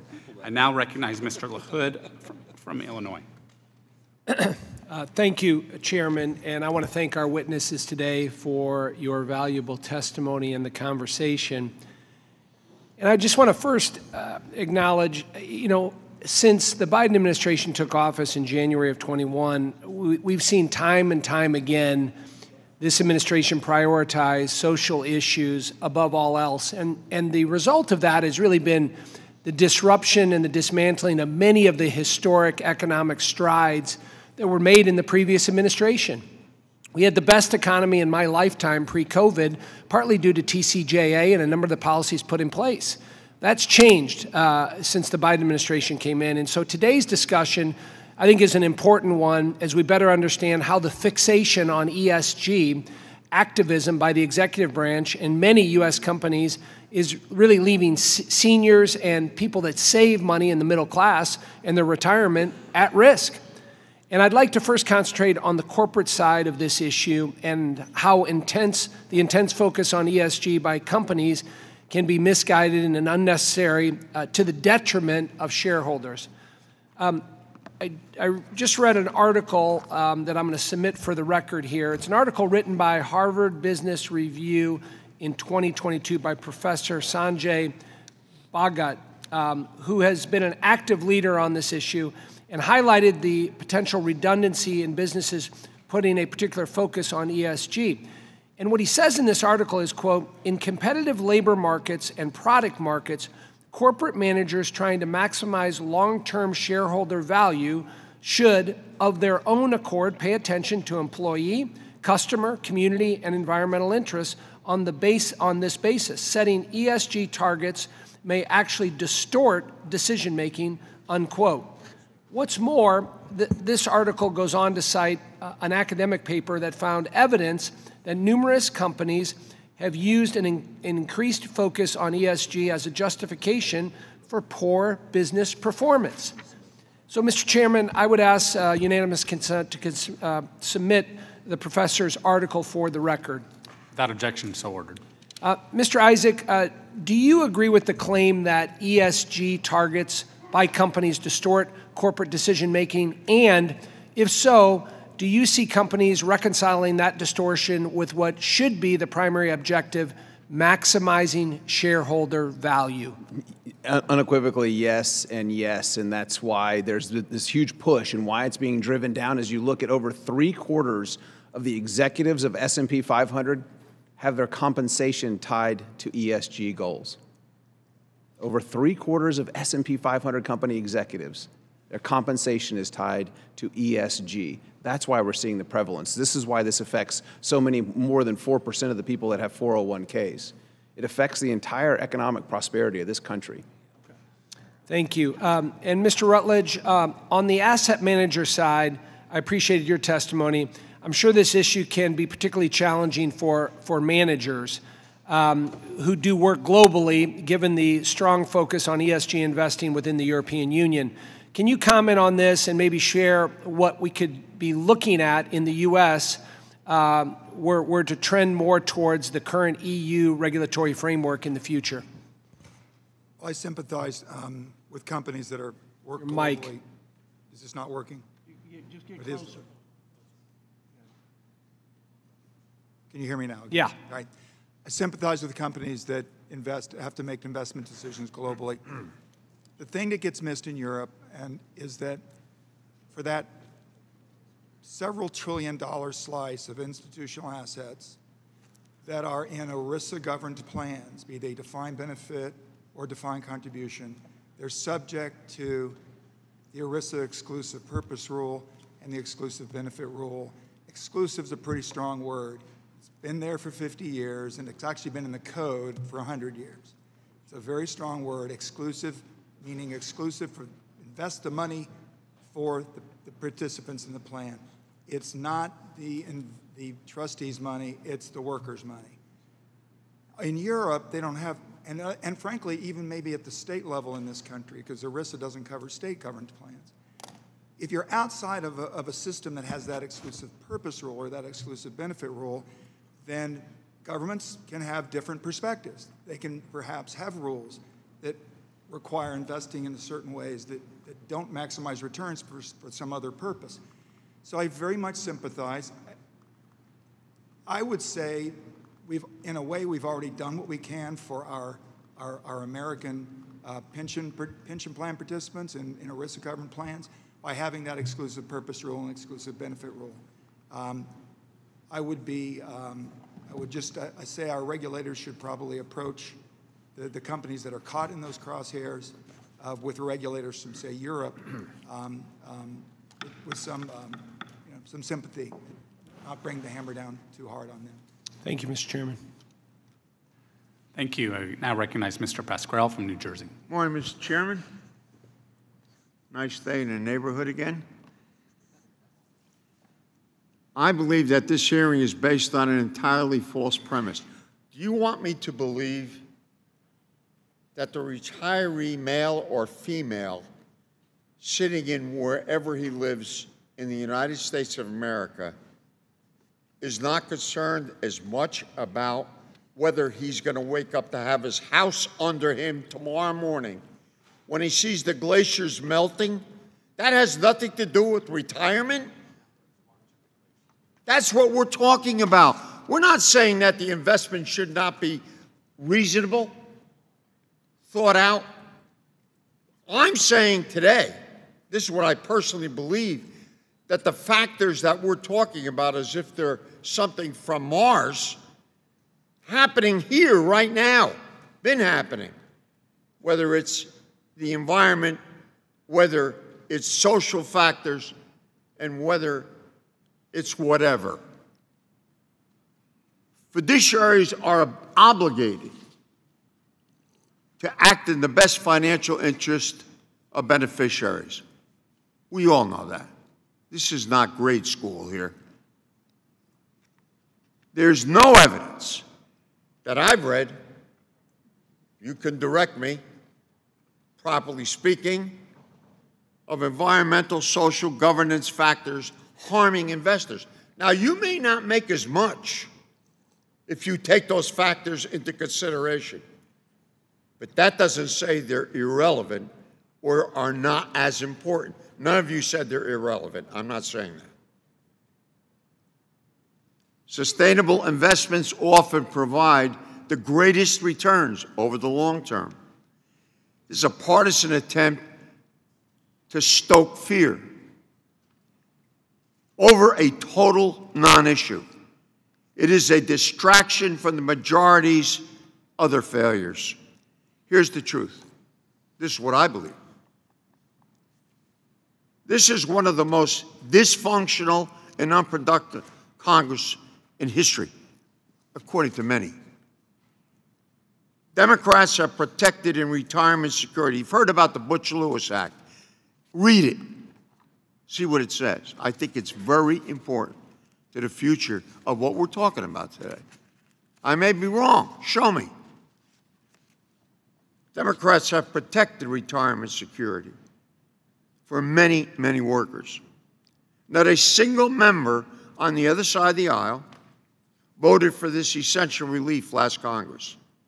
It gets worse.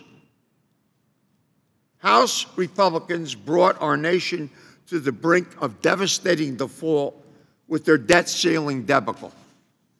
You made a deal and you couldn't keep it. You did it, not us. And now we face the same thing next week. And we're here talking about the irrelevance in investments of environment and social needs of this nation. We nearly saw retirement accounts vanish, millions of Americans cut off from Social Security and Medicare. And the study committee of the other side, which represents three quarters of Republicans, proposed slashing Social Security benefits by $718 billion. These are the biggest threats, biggest threats to America's retirement security. Democrats are building a stronger pro worker economy. Where are they? Every job lost during the pandemic has been recovered. So the job growth is at a 40 year high. Unemployment is at a 54 year low. The economy is booming. This president never gets any credit. He never was even congratulated when he became the president. They don't even recognize him as the president. Who the hell do they think they are? We need genuine action to protect retirement. Mr. Rees, let me ask you this question. How could future legislation build upon the successes of Butch Lewis to further strengthen retirement security? Thank you for the question. We would like to see employers be required to contribute to their employees' defined contribution plans when the employer does not provide a defined benefit plan. How's the tax code provide the bulk of retirement incentives to the highest earners? Uh, the deduction you receive for contributing to a 401k plan uh, is more valuable the more money you make. So while we bleed, in conclusion, Mr. Chairman, while we bleed about the growing debt of this nation, we don't bleed about the growing tax cuts to the richest people in this Gentleman's country. time has expired. Baloney. The gentleman's time has expired. I now recognize Mr. Arrington from Texas. Thank you, Mr. Chairman. Thank you, witnesses. Um, Mr. Pascrell is a friend, so, so be gentle with him, Mr. Isaac, but answer his question about seeing no evidence that ESG is affecting the returns on investment from these hardworking Americans that are counting on the maximum value of their investment for their retirement security. Just hit a couple of them. I'm, I, let me, you know what, rather than ask you, let me, let me be a little more efficient. You said that a negative 0.2% was the ROI on ESG on average, and that the average return on investment with the S&P 500 was 19% in comparison, and with NASDAQ it was 25%. That's a pretty stark contrast in economic value accruing to the, to the investor, to the employee, for their retirement. Look, I think it's fair to debate ESG on its merits. I really do.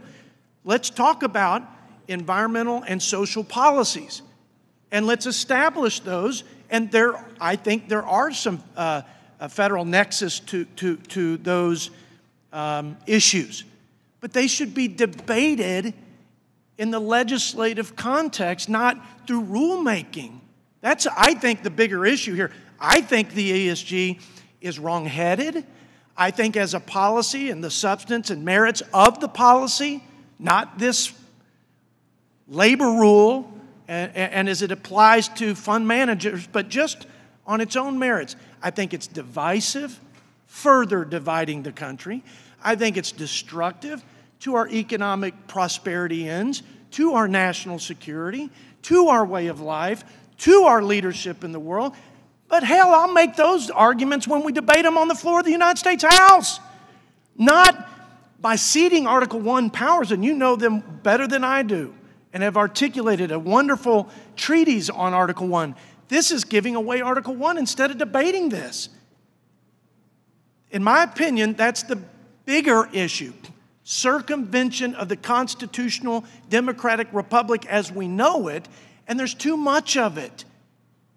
And people are weary of the regulatory overreach, and it does feel like tyranny every time you turn around.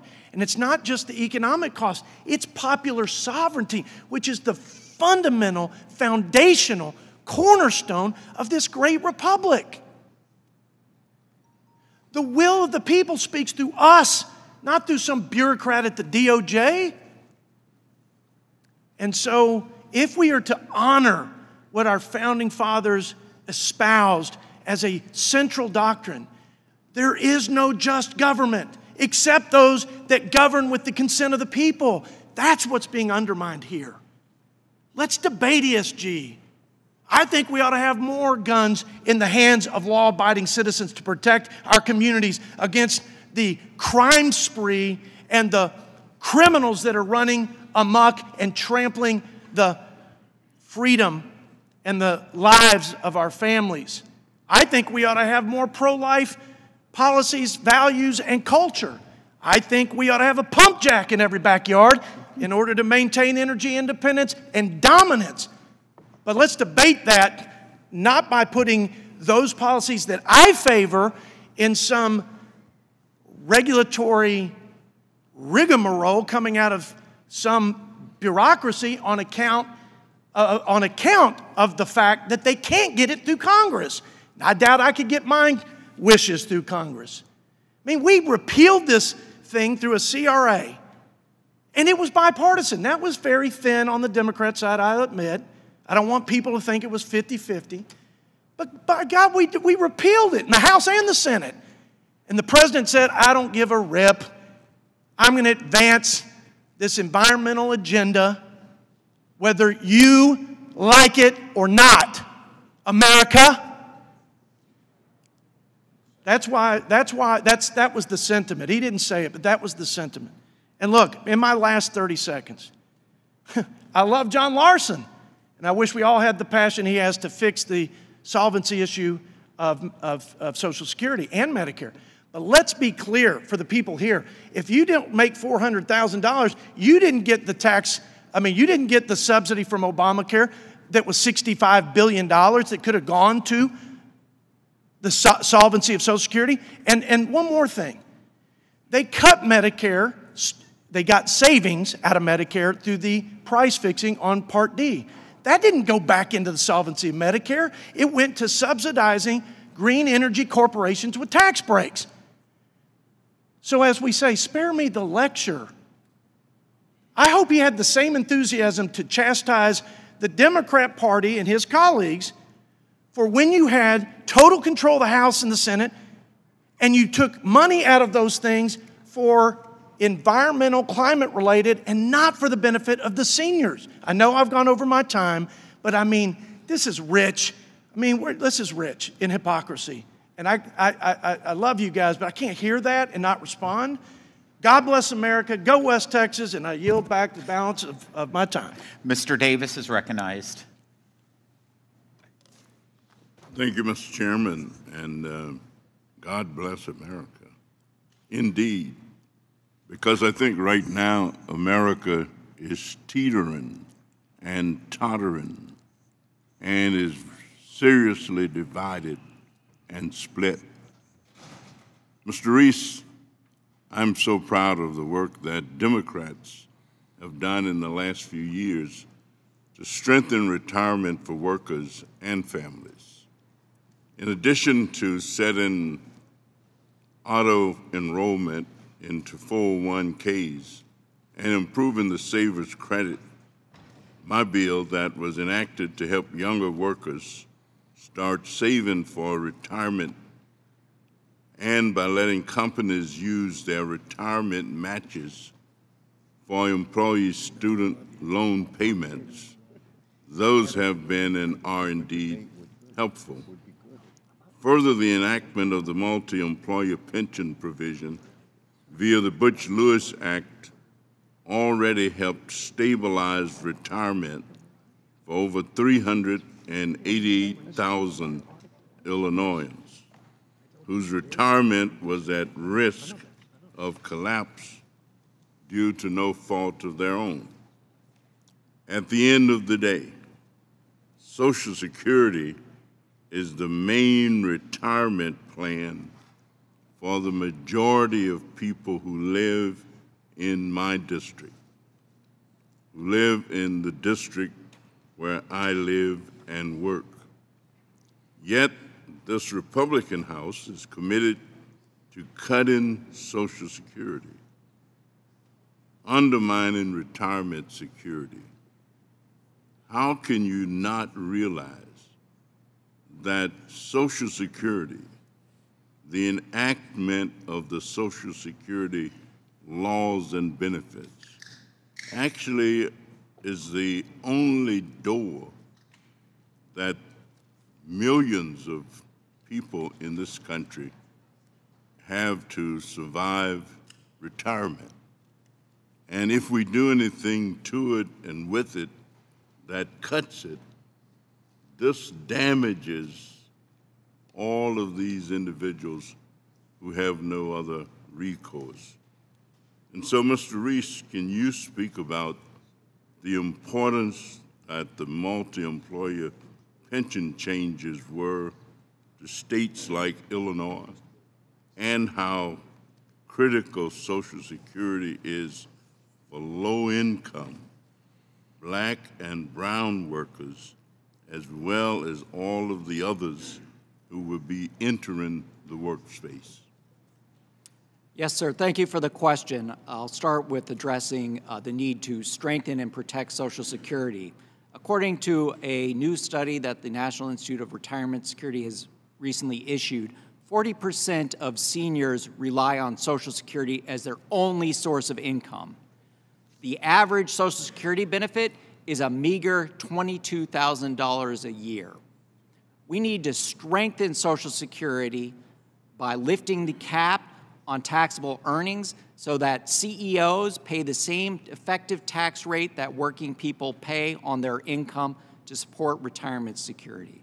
And regarding the state of Illinois, uh, the PBGC has already accepted and approved uh, applications uh, for uh, special financial assistance for multi-employer plans of over 388,000 uh, citizens of Illinois with annual pension benefits uh, totaling in the in the billions, so in the millions. So uh, I, I appreciate the question, and um, we really feel that this committee needs to be focused on the retirement income security crisis, not distractions like ESG wokeness. Thank you very much, and thank you, Mr. Chairman. My voice may not be as strong as that of John Larson, but my passion is just as great in terms of Social Security and what it means for the American people. Thank you very much, and I yield back. Thank you. Mr. Ferguson is recognized. Thank you, Mr. Chairman. And, you know, when we started this, my good friend, the ranking member, said something that I fully agree with. And that is Americans don't want to be told by the government what to do. Well, Americans also are business owners, and Americans are investors. And let's start with the very basic premise that the reason that American business exists is to return a profit to its shareholders. That's the sole purpose of, of running a business. and I think it is, I think it is wrong to co-opt the business community to, to basically carry out a social agenda by our colleagues from the other side of the aisle. Businesses are, are there to make money to return value to the shareholder or to the investor. Period. That's why it exists. That's why my dental practice existed.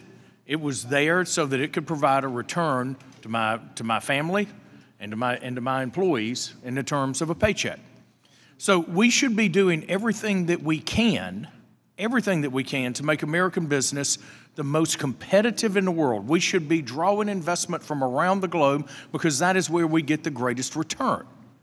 And to you know, and to think that folks like Mr. Rees are dictating to us what, where, where, you know, where we should be investing with ESG. This is the same group that failed to do the, to make the reforms and the needed changes in the pension plans before they went belly up. So, Mr. Rees, I apologize if I don't take if I don't want to take your your advice too seriously, but you know, we got pension plans that were going broke for years because basically the unions and the union leadership would not do the right thing to, to shore those up. That's a whole other conversation. But when we go down this road of, of causing companies to do things so that they can that, that go against their core mission so that they can simply attract investment dollars, that is counterproductive. It's not an efficient use of capital. And in return, American businesses slow down and they don't hire as many workers. Now, if we want to have a serious conversation about Social Security, let's keep in mind that we need more people working and paying into the system, not fewer. So every time that we drive a business to lower productivity and to make them hire, hire fewer people, we are hurting the very group that we're trying to help, which is to make sure that our seniors are protected. So when, when America is less competitive and we're not hiring as many workers and we're not and we're not building and inventing here in America and selling around the world, then we then we're backing up and we're hurting the Social Security system. I think it's important to put out there. Also, and Mr. Isaac, Mr. Oaks, I'll let y'all answer this question. Don't you think it would be wise to allow, or maybe maybe have rulings that allow shareholders and participants in funds to sue the fiduciary for failure to give the best return on the investment. Don't you think that would be a wise thing? Mr. Oaks, I'll start with you. And just if you could kick that around, um, I, would appreciate that. And Mr. Isaac, you follow up on that. Yeah, I think uh, we are already seeing lawsuits uh, along those lines. So in New York, one of the uh, pension systems is being sued for uh, pursuing ESG as a um, strategy in their fund um, because it is clearly counter to the fiduciary duty. And, and that sort of, of uh, legal action, I think, is required to uphold the fiduciary standard that we all hold dear to us because that leads to the, the outcomes that we want, the, the financial uh, outcomes that all of us need for our retirement. Very good.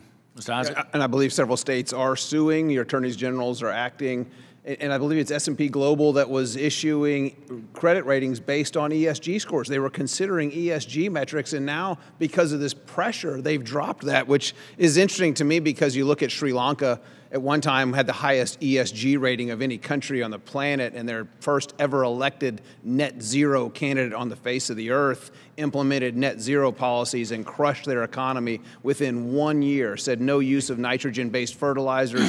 Food production down 40% cost up 80% today 9 in 10 people are hungry in Sri Lanka because of one person.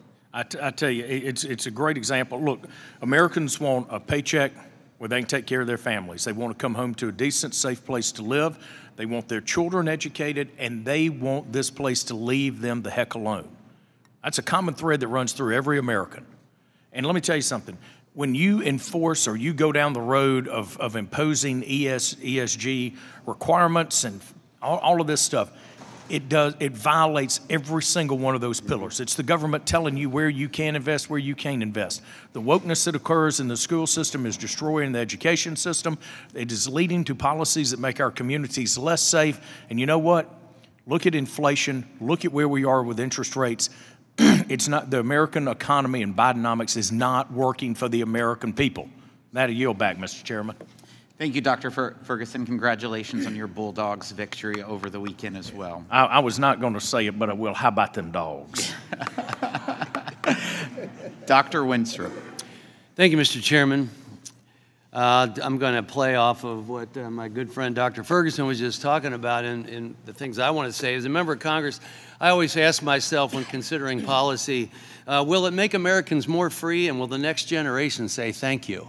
And I think we should take those types of things into consideration when we go ahead with policy. But allowing unelected fin financial bureaucrats with their own agenda to invest America's retirement savings in risky and unproven ventures to support an agenda of alarmism and social policy certainly doesn't make us more free.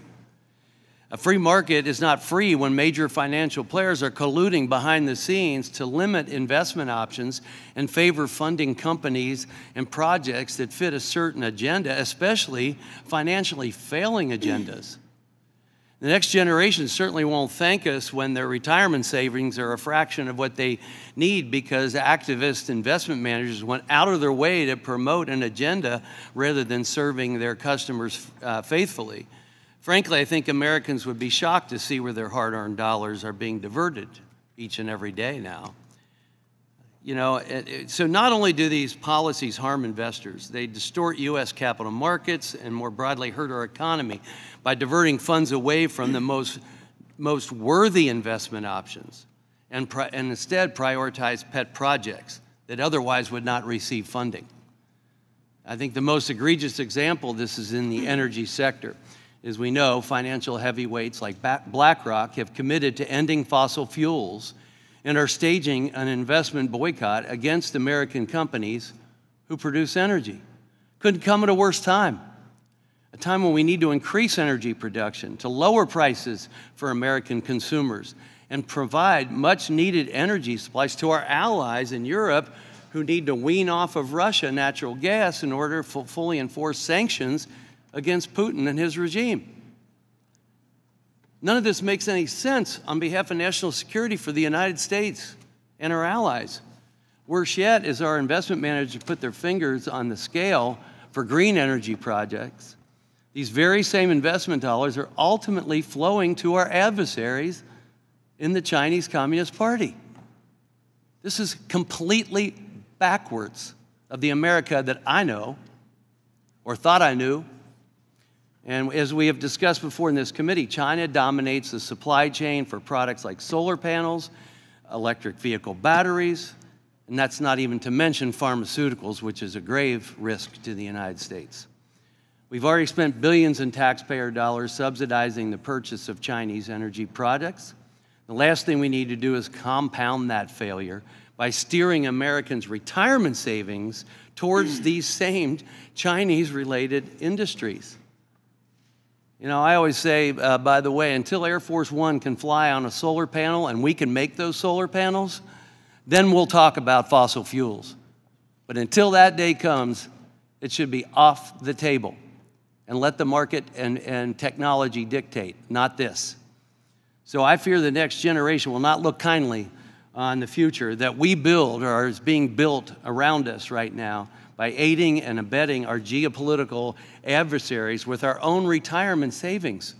Think about that. We're taking people's retirement savings and helping China and weakening ourselves. It makes no sense.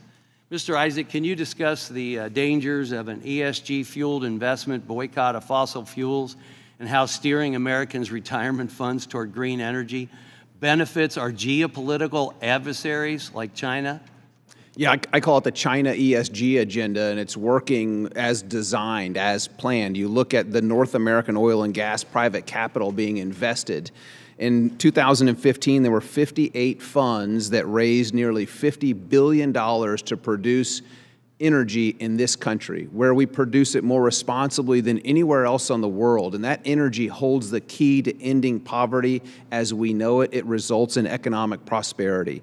In just in 2022, we've seen a 76% reduction in the number of funds raised and a 92% reduction in dollars raised in North American capital to produce American energy. And that's why we're not producing nearly as much as we could. We're shifting production, not demand, but we're shifting production.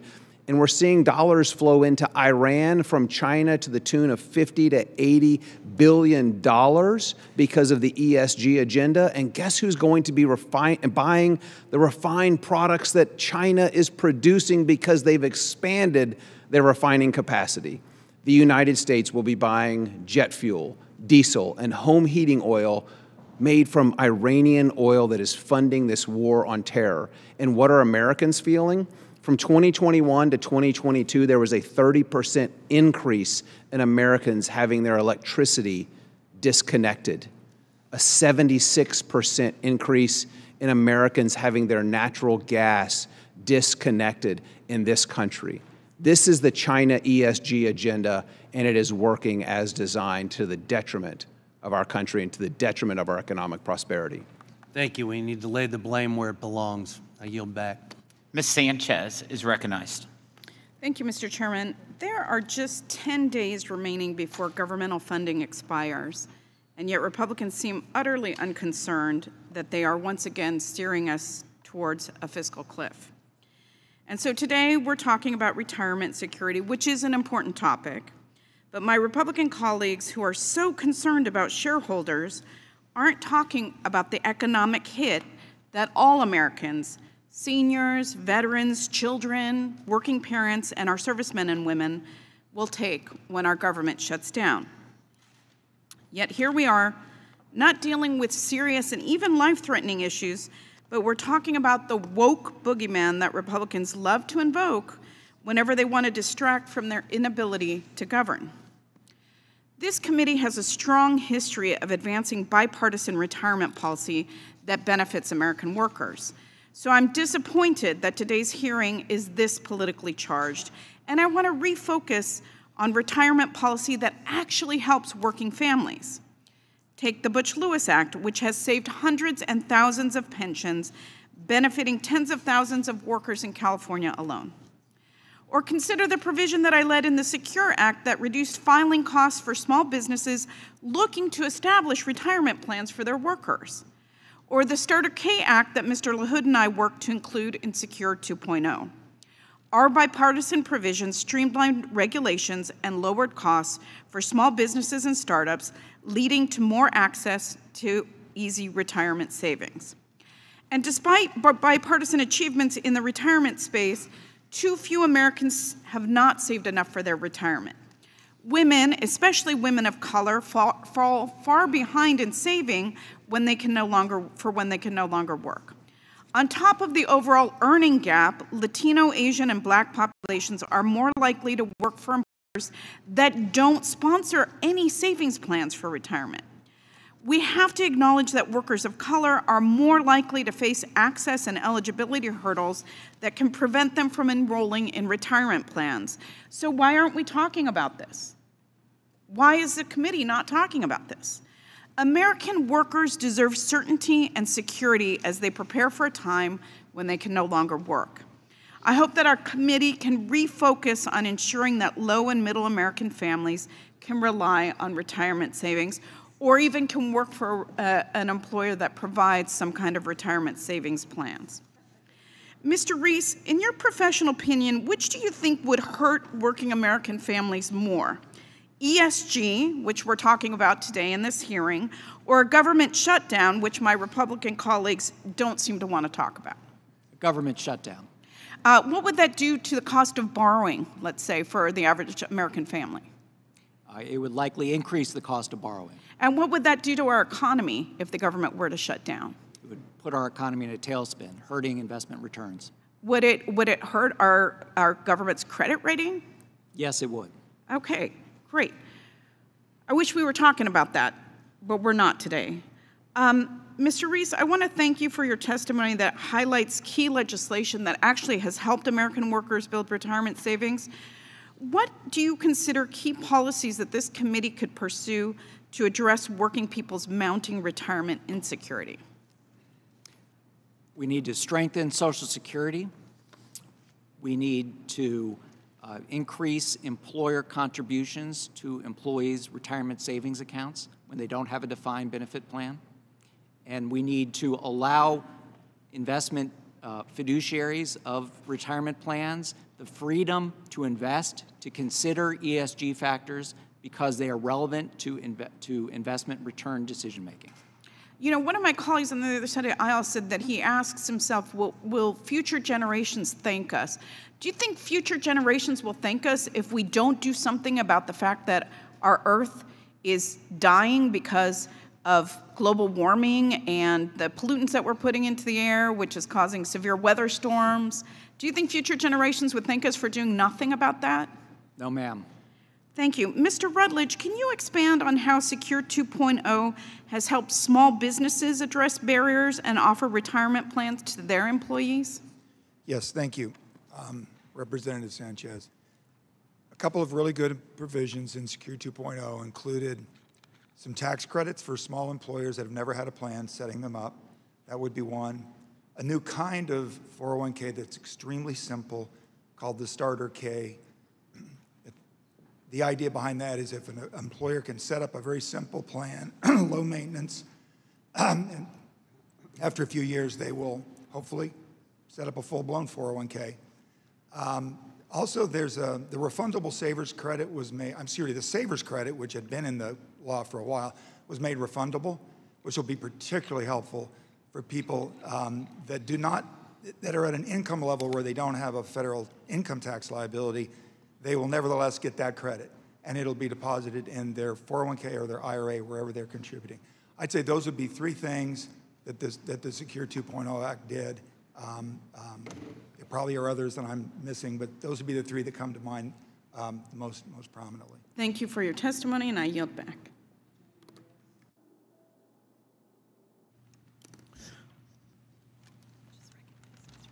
Oh, Mr. Estes is recognized. Well, thank you, Chairwoman. And uh, thank you for our, uh, that sounds good, doesn't it, Chairwoman, um, as, you're, as you're sitting there. Uh, thank you for our witnesses as well for uh, being here to discuss this phenomenon that uh, is quietly reshaping American life to the detriment of seniors and savers. I know I, w- I want to stay focused on ESG. I know a lot of there's been a lot of distractions around various other topics as we talked about, whether it was a, a, a bailout of uh, pensions where the trustees had failed to uh, be held accountable for their fiduciary responsibility. As a result, Taxes are increased for uh, single moms in my district. We talked about, uh, see, critical race theory, climate change, uh, talked about potential shutdown, even though we're focusing on appropriations bills this week, a host of other things. But I want to talk about ESG.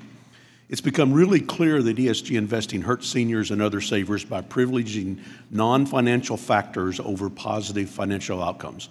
It's the opposite of fiduciary responsibility. Individuals have entrusted their money to corporations and firms to be stewarded towards a financial end, not some intangible goal in which they have no say.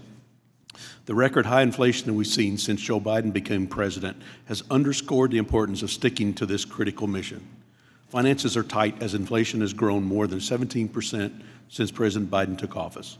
Kansans, including seniors on a fixed income, are having to stretch their dollars to spend nearly $1,000 more each month on the same goods and services than savers have seen inflation eat away at the funds they've set aside.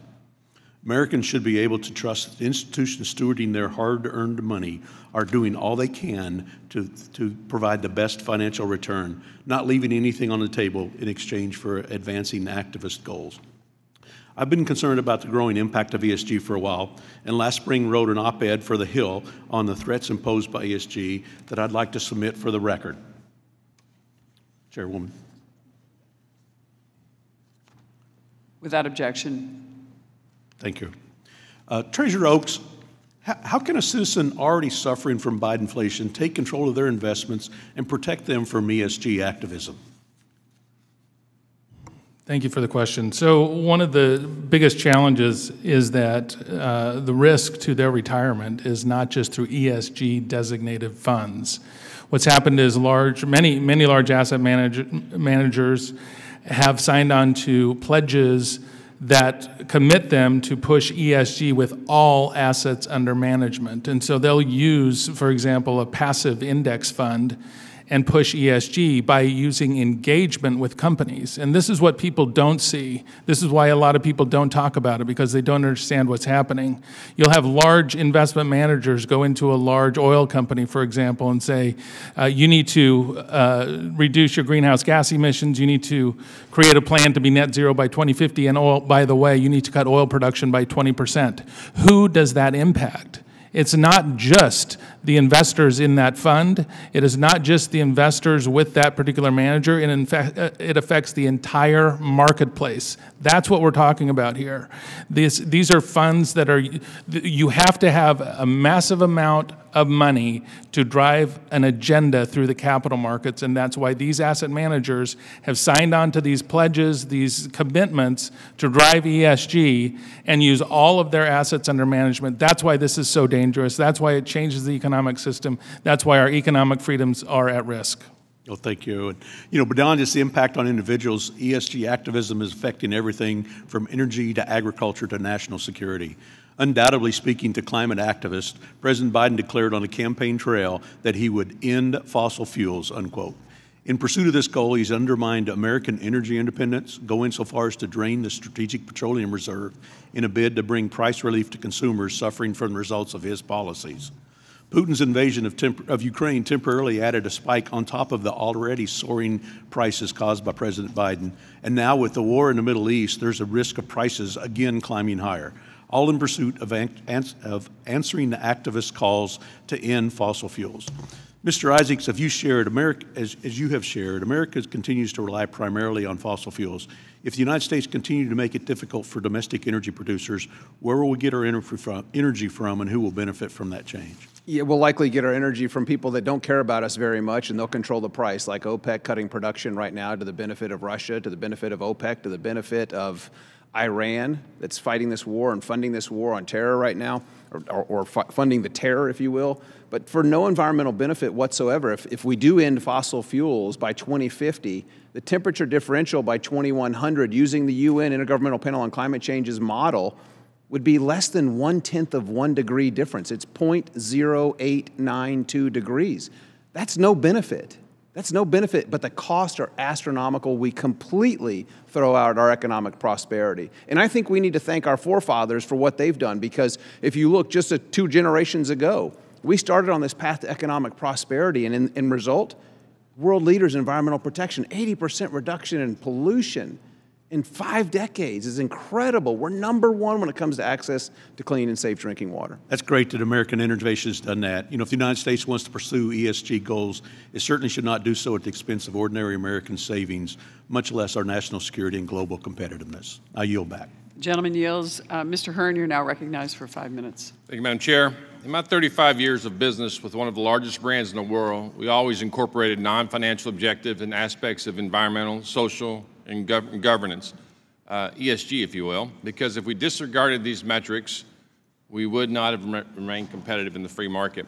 The policy issue we are seeing here in the United States and across the globe is the weaponization and politicization of ESG to push activists, non-financial objectives and ideology that ultimately does not align with the objectives we made this nation, uh, which made this nation an economic powerhouse. The United States was built on a free market where every dollar that is utilized for the greatest returns wins, and there are moments that stops, the economic dominance stops. In a free market, a business chooses to be an active steward of the environment, the first letter of ESG, because the free market demands it. Co companies implement environmental conservatism to reduce cost, enhance operational efficiency, and improve the business image in the public eye of their shareholders. Businesses make drastic efforts to be socially responsible in the communities in which they operate the second letter in ESG, because the free market demands it. Without these communities, the business itself would cease to exist. Millions of businesses across the United States and abroad give back to their communities and invest in areas that were previously economic deserts. Without good governance, the third letter in ESG, we would see failure. Throughout the history of this great nation, we have seen businesses rise and fall due to substandard governance. Just most recently, the failure of FTX and Silicon Valley Bank because of def deficient governance. ESG investing receives a lot of attention due to its political nature, but Congress should be concerned about all investing that utilizes metrics separate from the majority of investors' best interests, which is to achieve the highest rate of return on their investment. How can we assign a fair value to ESG funds or businesses when not all shareholders are looking for a profitable return? The intrinsic value of a company is the present value of all expected future cash flows. What percentage of a business's future earnings is owned by the environment? What percentage of a business's future earnings are owned by socially responsible causes?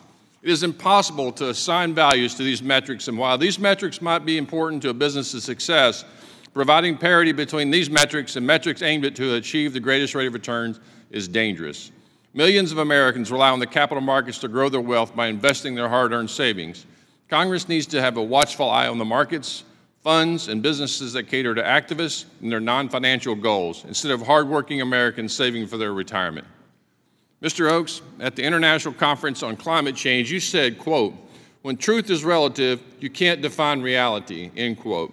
Can you explain what you mean by that in relation to ESG? And by the way, I watched your 45-minute video at 6 o'clock this morning. Very good job. okay. All right, sorry, can you repeat the question? When you talk about when truth is relative, you can't define reality. Can you talk about what, in context, you put that in as it relates to ESG?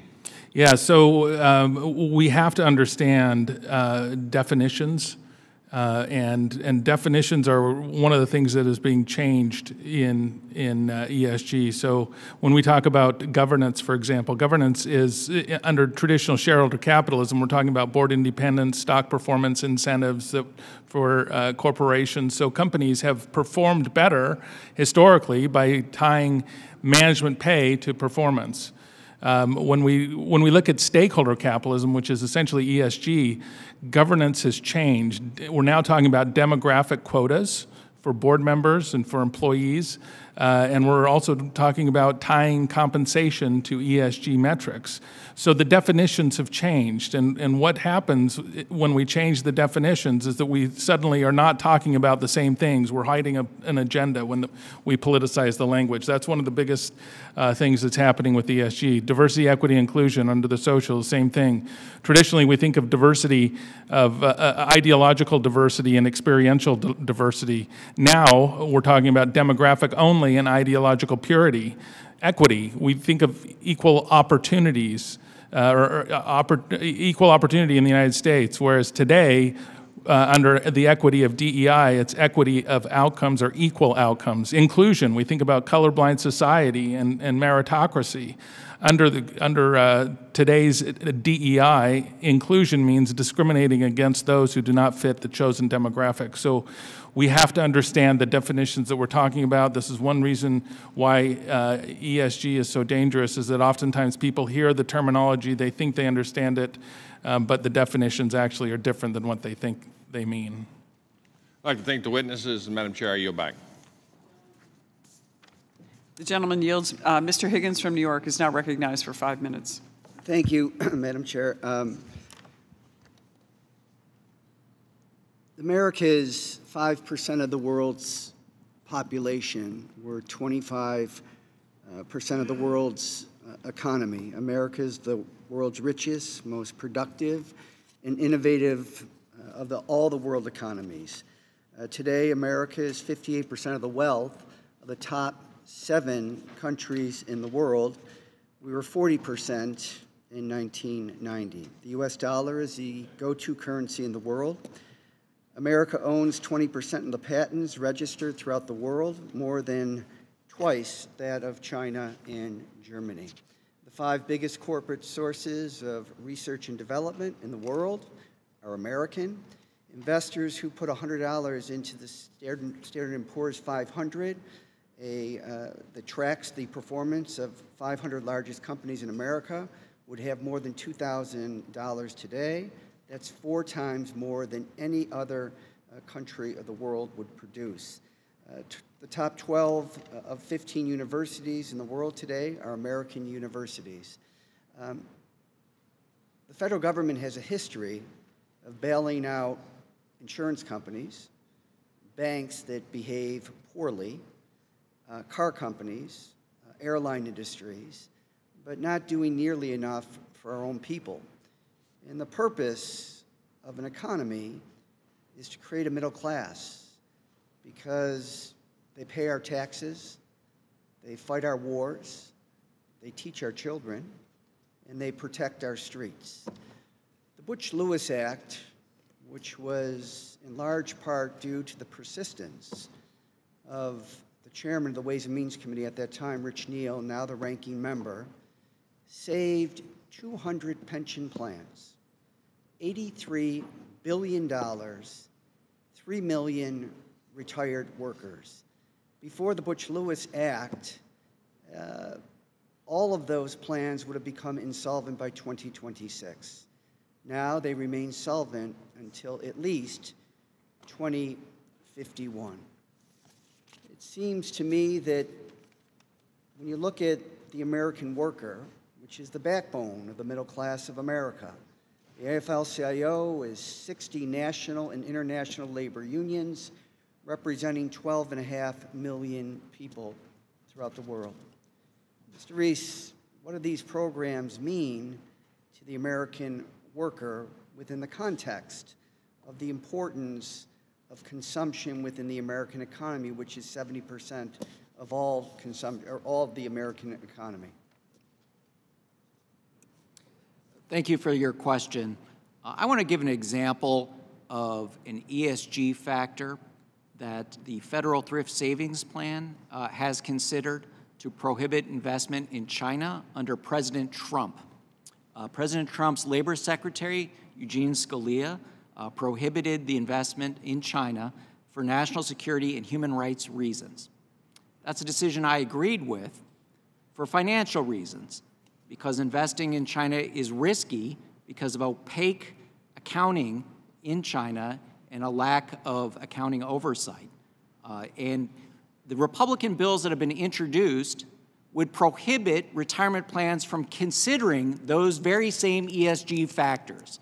Uh, and so my point is that we should give financial advisors, we should give retirement plan fiduciaries the freedom to consider ESG factors when they deem them material to investment returns in the exact same way that the Trump administration did for the thrift savings plan that members of Congress participate in. I yield back. The gentleman yields. Uh, Ms. Mrs., Ms. Miller from West Virginia is recognized for five minutes. Thank you, Madam Chairman and Ranking Member Neal, and thank you all for spending time with us today. I appreciate it. I'm from the beautiful state of West Virginia, which, for those of you who might not know, it is a leading energy producing state. Since 2008, the radical left wing war on coal, and quite frankly, for all forms of traditional baseload energy, has devastated the communities in my home state of West Virginia. Despite Washington liberals' best efforts, coal exports still amounted to $3.8 billion of economic activity in my home state. ESG mandates are just another opportunity for unelected bureaucrats to force freedom loving Americans to accept one more step towards global socialism. We will never, never surrender to those who want to see our energy producing states destroyed, and we will fight these mandates tooth and nail.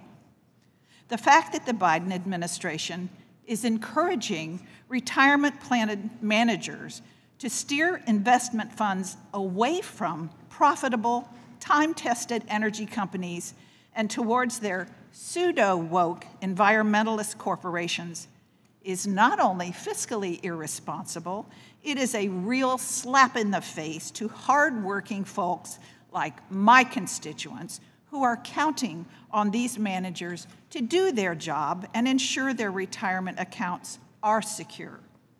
Mr. Oaks, thankfully in West Virginia, we know better than to let woke leave us broke. We've experienced it. In March, our state established a law which prevents the State Investment Management Board or fund managers from considering environmental, social, and corporate governance factors when managing retirees' finances. Mr. Oaks, can you come, you come from a state which has also taken a stand against the administration's misguided ESG policies. Can you tell us how retirees in your state are better off now that their financial managers are focused solely on financial returns? Yes, thank you. So, um, as I mentioned before, I think one of the key issues is that, that asset managers have committed all of their assets under management to drive this agenda. So it's not just ESG funds that are pushing ESG um, policies. And so that's, that's really the challenge here. Um, and, and, several research um, studies have shown that ESG related proxy measures often have a detrimental effect on financial returns. So the proxy vote is one of the uh, very important roles that an owner of a stock has. They can uh, exercise their right to uh, vote their shares on issues that come before a corporation. And, and unfortunately, this process is, is being hijacked. So there was a study published in the Journal of Financial Economics that investigated the influence of activist public pension funds on the market values of a subset of Fortune 500 companies. And the findings revealed a negative correlation between increased activism by public pension funds and stock returns. Additionally, companies receiving proposals from activist public pension funds advocating for social agendas were valued at 14% less compared to similar companies that did not pursue such agendas.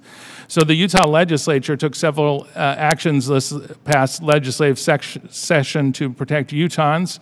Um, very importantly, we passed a fiduciary standards law that included um, uh, voting proxies for the best interest and the best interest of the beneficiaries. That was one area that we had to look very closely at because it's not always obvious what the proxy advisory firms are doing, and it, it, they don't have uh, just an off-the-shelf fiduciary uh, standard kind of uh, uh proxy um, system. So we worked on, on a fiduciary bill. Um, I sit on the boards of the Utah Retirement Systems and the School and Institutional Trust Fund, our sovereign wealth fund, um, and, and we are, we've worked to ensure that our proxy voting is in the best interest of our beneficiaries, that we're upholding the fiduciary standards, uh, and, and that we do not want uh, ESG or uh, investment managers pushing ESG agendas uh, on behalf of our retirees and, and the school children of Utah. Thank you so much. Mr. Bollet, I loved hearing about your background and your family farm. Some of us, some of the people here may not know, but Chairman Smith and I are both bison farmers. So hearing your implications of the ESG issues on family-run businesses and operations is important to me personally. I think you made a great point in your testimony that community bankers should have the freedom to make investment decisions that make sense to their customers rather than follow top down mandates from bureaucrats in Washington that have no idea what is best fit for the individual communities. Can you talk a bit more about how ESG policies have the potential to harm small community banks and businesses? Thank you for the, thank you for the question. Congresswoman, and I'll be quick. Uh, Main Street's always taking care of Main Street, and it's best if you let us take care of Main Street, not have top-down driven policies. Thank you. I yield back. Uh, the gentlewoman yields. Uh, the gentleman from North Carolina, Mr. Murphy, Dr. Murphy, is recognized for five minutes. Thank you, Madam Chairman. I want to thank all the uh, uh, folks for coming here today to discuss. It's just kind of interesting. I think our Democratic colleagues know that ESG is indefensible that's why they're trying to talk about everything else, you know, the sun and the moon here. Um, just put plainly simple, this is a political motivation to try to move what should be an objective market. Very, very plain and simple. Um, through all the different tax uh, revelations and tax breaks given to Chinese companies for, for American companies, what we're doing is we're pouring American money into our greatest enemy, point blank enemy, into China, where China is now developing weapons against us, their navy's far advanced, et cetera, et cetera, and they're buying up the world. They own pretty much own New Zealand. They're owning Australia. They're bullying Australia literally today. And we're feeding China with this nebulous, absolutely out of touch reality. As you pointed out, Mr. Isaac, it's going to be what, 0.01% of a temperature raise? This is the problem when you make emotional decisions on math. Math is a very objective thing. Gosh, we all don't want what's happening with the earth. I believe that the climate is changing. I absolutely believe it. But I don't believe we can do a damn thing through all these maneuvers to change any of this stuff. What we're going to do is bankrupt America and allow the Chinese Communist Party to basically take over the world. And we're going to be sitting there thinking that the rainbows and unicorns are going to come out because we've, you know, saved a, or we've pushed a few pennies. At the same time, worsening returns uh, for our investors. Uh, uh Mr. Rees, you made a comment. You, you said, I don't want to put words again in your mouth, that you believe you, we should give financial advisors the freedom to use ESG, correct? Were, were those your words? That is correct. Okay. Mr. Isaac, then can I ask you, are, are financial advisors not their compensation based upon using ESG? Isn't that what you said earlier? Yeah, over 75% of executives in S&P 500 companies have their compensation tied to implementing ESG. Okay, so how's that freedom? that's, that's not working out too well. Well, it's not. It's an absolute, we, you say you want freedom to use it, but no, they're tying their compensation to that.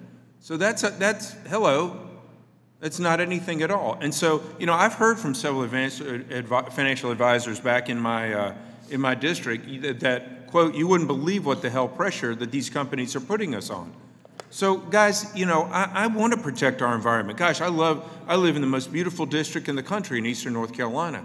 But these are absolutely ridiculous policies to think we're actually going to change what's going on, but we're going to bankrupt our country and at the same time empower our greatest enemies in Iran, in China, and Russia today by doing this. It's an absolute absurd, pathological plan. So um, I, will just get back. You know, I was proud to introduce H.R. 9198 last year, the Safeguarding Investment for Options for Retirement Act, because it is a financial and fiduciary responsibility for financial advisors to return the highest amount to their investors. Period, point blank. Does anybody on the panel disagree with that? No, those are mere numbers. You know, a rainbow does not buy dinner for somebody um, who's poor. I'm sorry, it, it, just doesn't. So let me ask you this, uh, Mr. Isaac. In general, do Chinese businesses tend to focus on obtaining high ESG scores? it's the last of their concern, along with human rights and environmental protection. Yes, but then we fund all the money over to them. Do you think they're going to be truthful on any of these things? I truly believe they're sitting back in Tiananmen Square, they're sitting back in, uh, in Beijing and laughing at us because we're chasing butterflies and rainbows to make us feel better emotionally. And we're really, absolutely screwing the American public. And we're screwing the 250 years of democracy and turning us down. I mean, uh, it, the math just doesn't seem to work. You know, I, I, Mr. Larson, I agree, he's not here anymore, but I would agree with your chair that we need to get working on Social Security. Absolutely. It was a plan put in place by Democrats many, many years ago without a future uh, plan that's going to hurt people today. Um, I, guess there's just so much target rich environment, I probably shouldn't go on. But, uh, guys, you know, I, again, it is absolutely absurd that we motivate the markets to move because of a political agenda. I think even our Democratic colleagues understand that. We all want a beautiful environment. We all want to do with these things, but the markets are not based upon emotion. They're based upon math. With that, Madam Chairman, I'll yield back. The gentleman yields. Uh, Ms. Sewell from Alabama is now recognized for five minutes. Thank you, Madam Chair.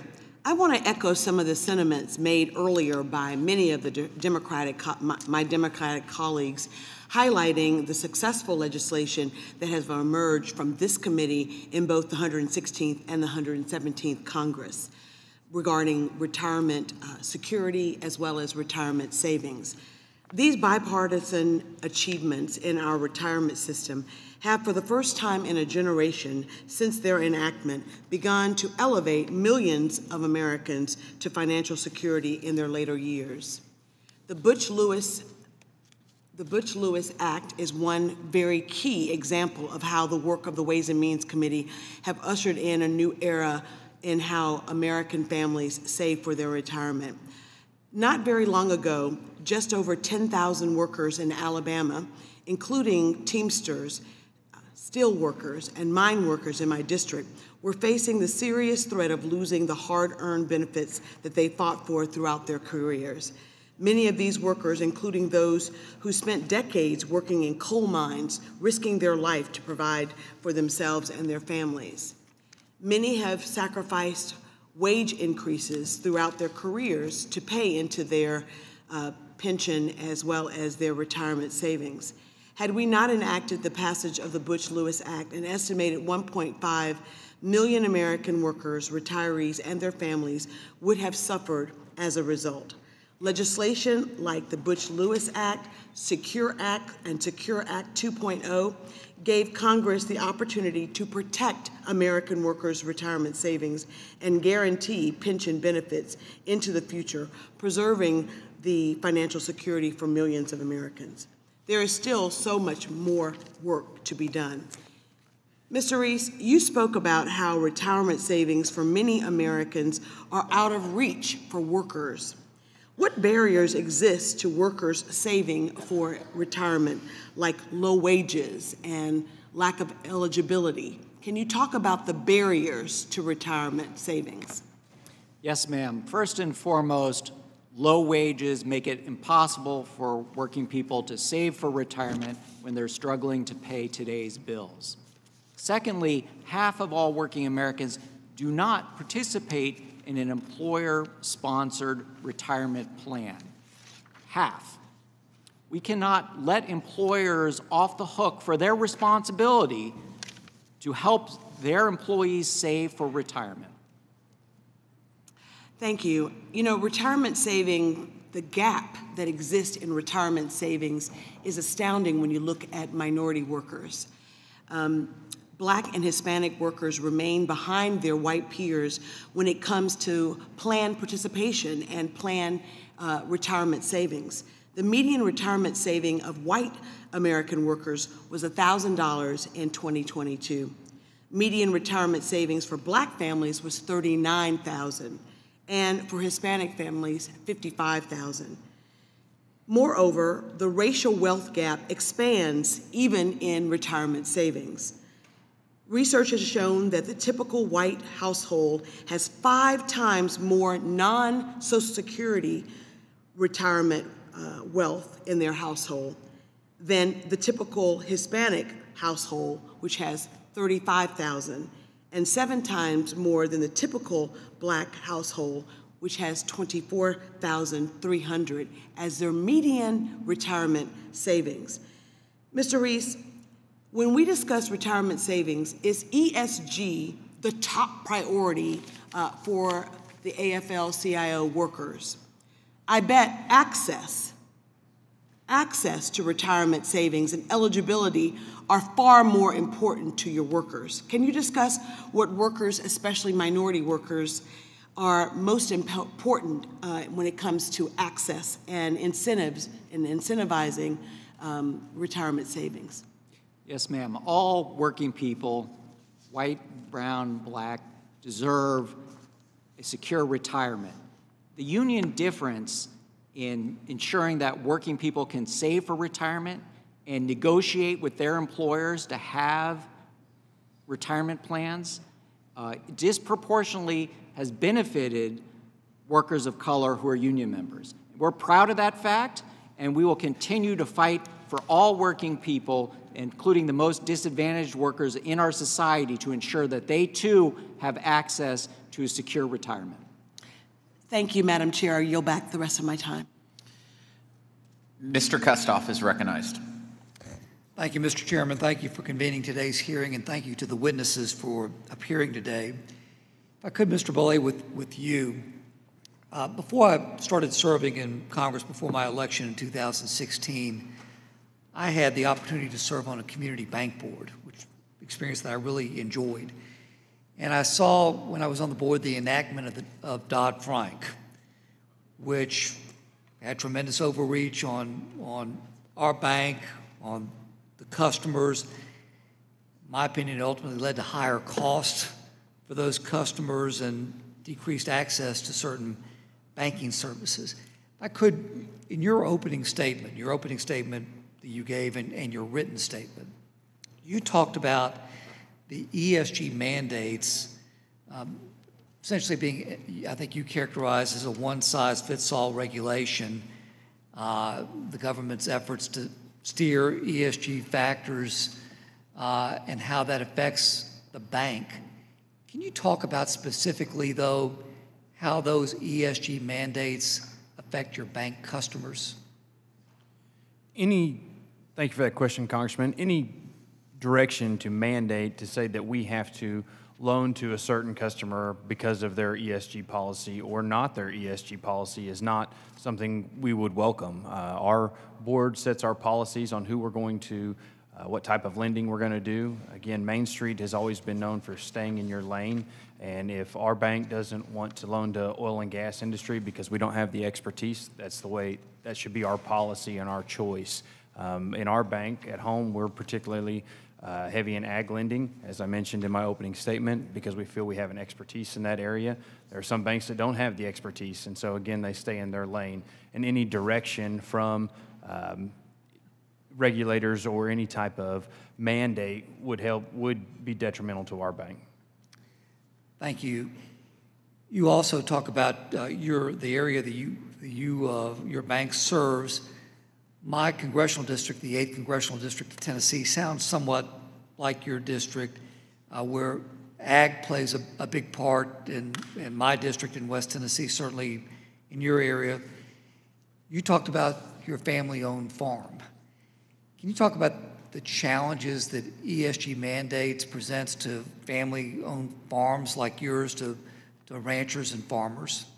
You bet. Thank you for the question. Again, anytime you want to mandate a change or uh, a practice, there's unintended consequences. And those, especially in agriculture, if uh, an example to come say that we had to do all no till uh, for all across America, that, that, that's unsustainable. It doesn't work in all areas, and especially in our area, there's certain farms, um, ranches, soil types that, that can handle no till, and across the country that wouldn't it wouldn't work, um, and especially, in, not going to talk too much about your district, but I don't know that no-till would work in your district. Uh, depends on your climate and those things. So again, any mandate would be detrimental to our production agriculture.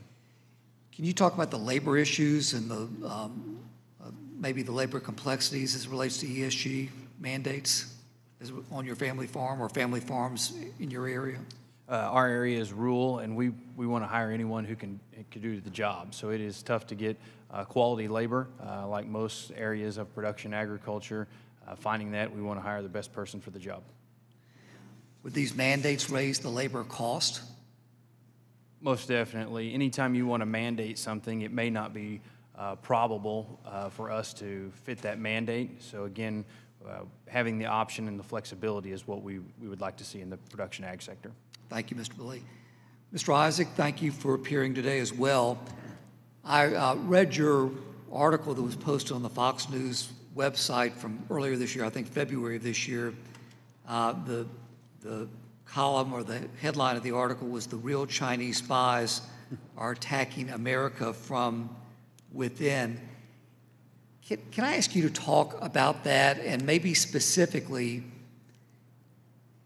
maybe specifically, is China using the ESG movement and American savings to advance their own geopolitical interest? They are doing it to advance their own geopolitical interest. And what they're doing is they've built up and funded this network of financial institutions like the Climate Action 100 Plus, which is uh, part of another one of these organizations that has you know, a vast majority of the assets under management under their umbrella. This this organization meant to decarbonize the planet, which I, I showed and shared the numbers earlier. The benefit there there is no benefit, but there are extreme costs to do that. And I I say that having drinking a carbonated beverage that contains more CO2 than what's in the atmosphere, and I assure you, I'm not going to spontaneously combust. But they're, they're, do, they're pushing this ESG agenda within these financial asset managers. And you look at the debanking that has occurred with these companies. Coal was really the first thing. We're no longer going to make capital available to companies that are producing or earning their revenue from coal. And what's happened? Well, coal has decreased significantly in the United States to the detriment of our electric reliability. But you look globally, last year, wasn't a minus 0.2% decrease like these ESG funds. It was a 9% increase in global consumption of coal, and guess where it's getting produced? In a place that doesn't care about human rights or the environment China. It's not getting produced here in the United States that produces it and utilizes it more responsibly than anywhere else on the planet. And I say utilize it, and I, I say of all the technology the Chinese steal from us, it'd be nice they would utilize our pollution control technology but they don't. And we do here in this country. We produce that electricity, again, more responsibly than anywhere else. I wish the rest of the world would at least meet air quality standards that improved the air quality rather than focusing on decarbonization, which is dangerous, deadly, and dumb and doesn't do anything to mitigate a changing climate. Thank you, Mr. Isaac. I yield back. Ms. Del DelBene. Thank you, Mr. Chairman. Um, thank you to our witnesses for being here today. Um, I find it frustrating that Republicans will stop at nothing to play politics, and today is the politicization of pension plans. This hearing is an attempt to distract the American people from a looming shutdown um, and the constant chaos of the Republican majority. Now, many of us here work with our colleagues across the aisle on issues that are actually impacting Americans, like increasing affordable housing production, ensuring families had access to safe baby formula during the national shortage, and helping seniors obtain medical care without unnecessary delays due to prior authorization. Unfortunately, that is not what we're doing here today. The title of this hearing shows that Republicans aren't serious about crafting thoughtful retirement policy, protecting seniors, or helping low and moderate income people save for retirement. Um, earlier this year, I introduced the Freedom to Invest in a Sustainable Future Act, which would codify the Biden Labor Department's rule regarding ESG investments. Um, Mr. Rees, does the Biden Labor Department's rule require plan fiduciaries to invest retirement plan assets in ESG investments? No, ma'am. Thank you. Also, isn't it true that under the Biden rule, plan fiduciaries must always act in the best financial interest of participants and beneficiaries? Yes, ma'am.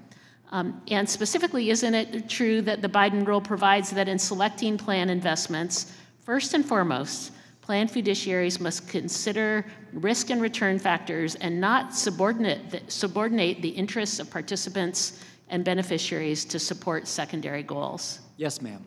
So, Mr. Rees, can you talk about what you see as political interference of the management of ret retirement plan assets? Um, or you talked about that, and I wondered if you could expand on that. Yes, ma'am. I want to address uh, an important issue uh, that retirement plans consider ESG factors both as an investment risk in selecting particular investments, but they also consider it when pro voting proxies. Our free enterprise system depends on share owners of companies deciding how businesses will address ESG risks.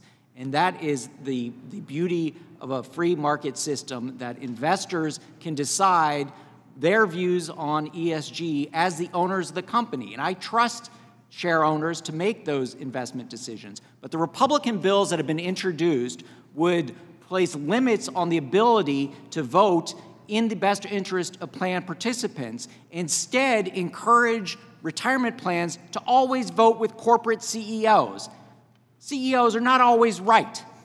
The CEO's, CEO of Enron was not right. The CEO of Bear Stearns and Lehman Brothers were not right. And that's why we need to have shareholders have the ability to vote in the best interest of their pocketbooks. And retirement plans must be able to invest in the best interest of their plan participants, that they owe a fiduciary duty of loyalty. These bills would encourage retirement plans to violate their fiduciary duties to vote in the interest of plan participants by always voting in the interest of corporate CEOs. Thank you. I yield back, Mr. Chairman. Mr. Steube. Thank you, Mr. Chairman. The savings of everyday Americans are now a vehicle for radical environmentalists to exercise their political goals in the private financial sector because they can't achieve their autocratic tendencies through the means of government power.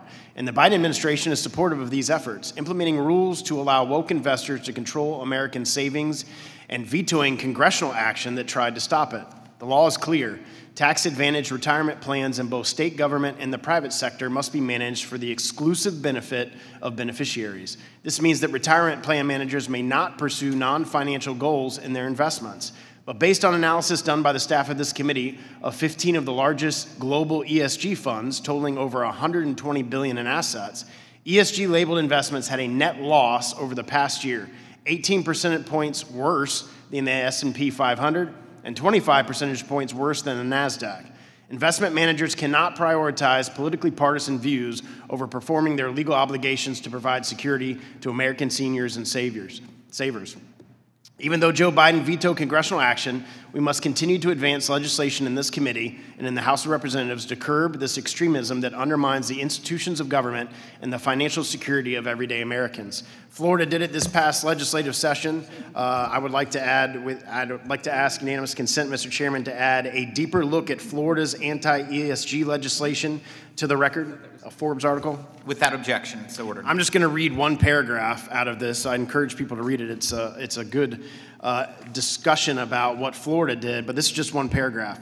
If I told you that the United Nations developed a plan to manipulate financial investments to force businesses to enact environmental and social policies that align with their goals announced by Al Gore, you would probably start pushing me into the conspiracy theory category. Yet it happened. It didn't happen in secret. There are no leaked documents or conspirators. It happened in public through public meetings with clearly stated goals and outcomes, and they held a press conference to announce it. We just didn't know what they were talking about. So I'd like to add that to the record, and uh, I'll start with um, Mr. Oaks. And thank you all for being here today. I, I thought your, your responses have been excellent. Uh, Mr. Oaks, in your testimony, you note that the goal of ESG is not better financial performance, but rather to force compliance to a one world view. Why are the proponents of ESG using these means to force their agenda on the American people? Well, I, I think it's pretty clear that these, uh, this agenda would not be accepted by the American people any other way. And so it's got to happen uh, in, the, in the private sector. And that's, I think, one of the reasons why this is so dangerous. We're, uh, we're going around bodies like this to implement policy that affects all Americans. And, and this, is, this is dangerous to our, our constitutional form of government and our free market system. You also state that ESG policies po- politicizes what should be purely financial decisions. Why is it so important that investment managers adhere to the exclusive benefit duty instead of these ESG considerations? Well, if you if you think about um, information, we talk about you know investors wanting information. Information that's material to an investment decision is already uh, required disclosure. And so when we're pushing uh, companies to, to create reports or disclose uh, information, it costs money and resources on those companies. Um, spending resources on t- something that has no benefit is frankly irresponsible at best and certainly not in the shareholders' best interests. Many ESG proposals are not related um, to disclosing information, but rather uh, they want specific corporate action like uh, racial audits or net zero transition strategies. Uh, and oftentimes, these disclosures give fodder to activists who then apply pressure to comply with the agenda. And should, the, should this uh, disclosure show a company is not behaving according to that given agenda? So the information is often taken out of context to drive a narrative and shame a company to change its ways. Is a company giving to the right causes? Do they have a net zero plan so the targets can ratchet down as needed? Do they have racial equity? Racial equity audits often drive the composition of the workforce independent of merit or competency. All of this information is used to drive compliance. And you also cite data showing a statistically significant negative relationship between ESG investing and investor returns. How does this tangibly affect American families? Well, uh, clearly, this is not uh, about making money for people. There's another agenda at work, and that's why this is so problematic for all people. Uh, and, and, in fact, if you look at, at uh, gasoline prices today and the chronic underinvestment in oil and gas that is leading to higher gas prices, it's really the low income households that bear the burden of that because they spend three times more of their income on energy costs. And so this has a very detrimental effect on those who can least afford it. Agree with you 100%. Thank you for being here. I yield back. Ms. Chu.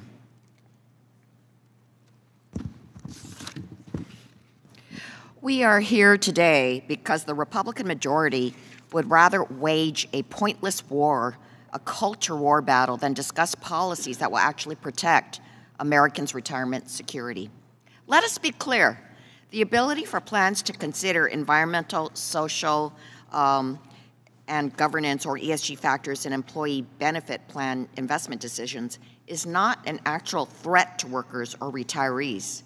This is a delusion made up in the minds of Republicans.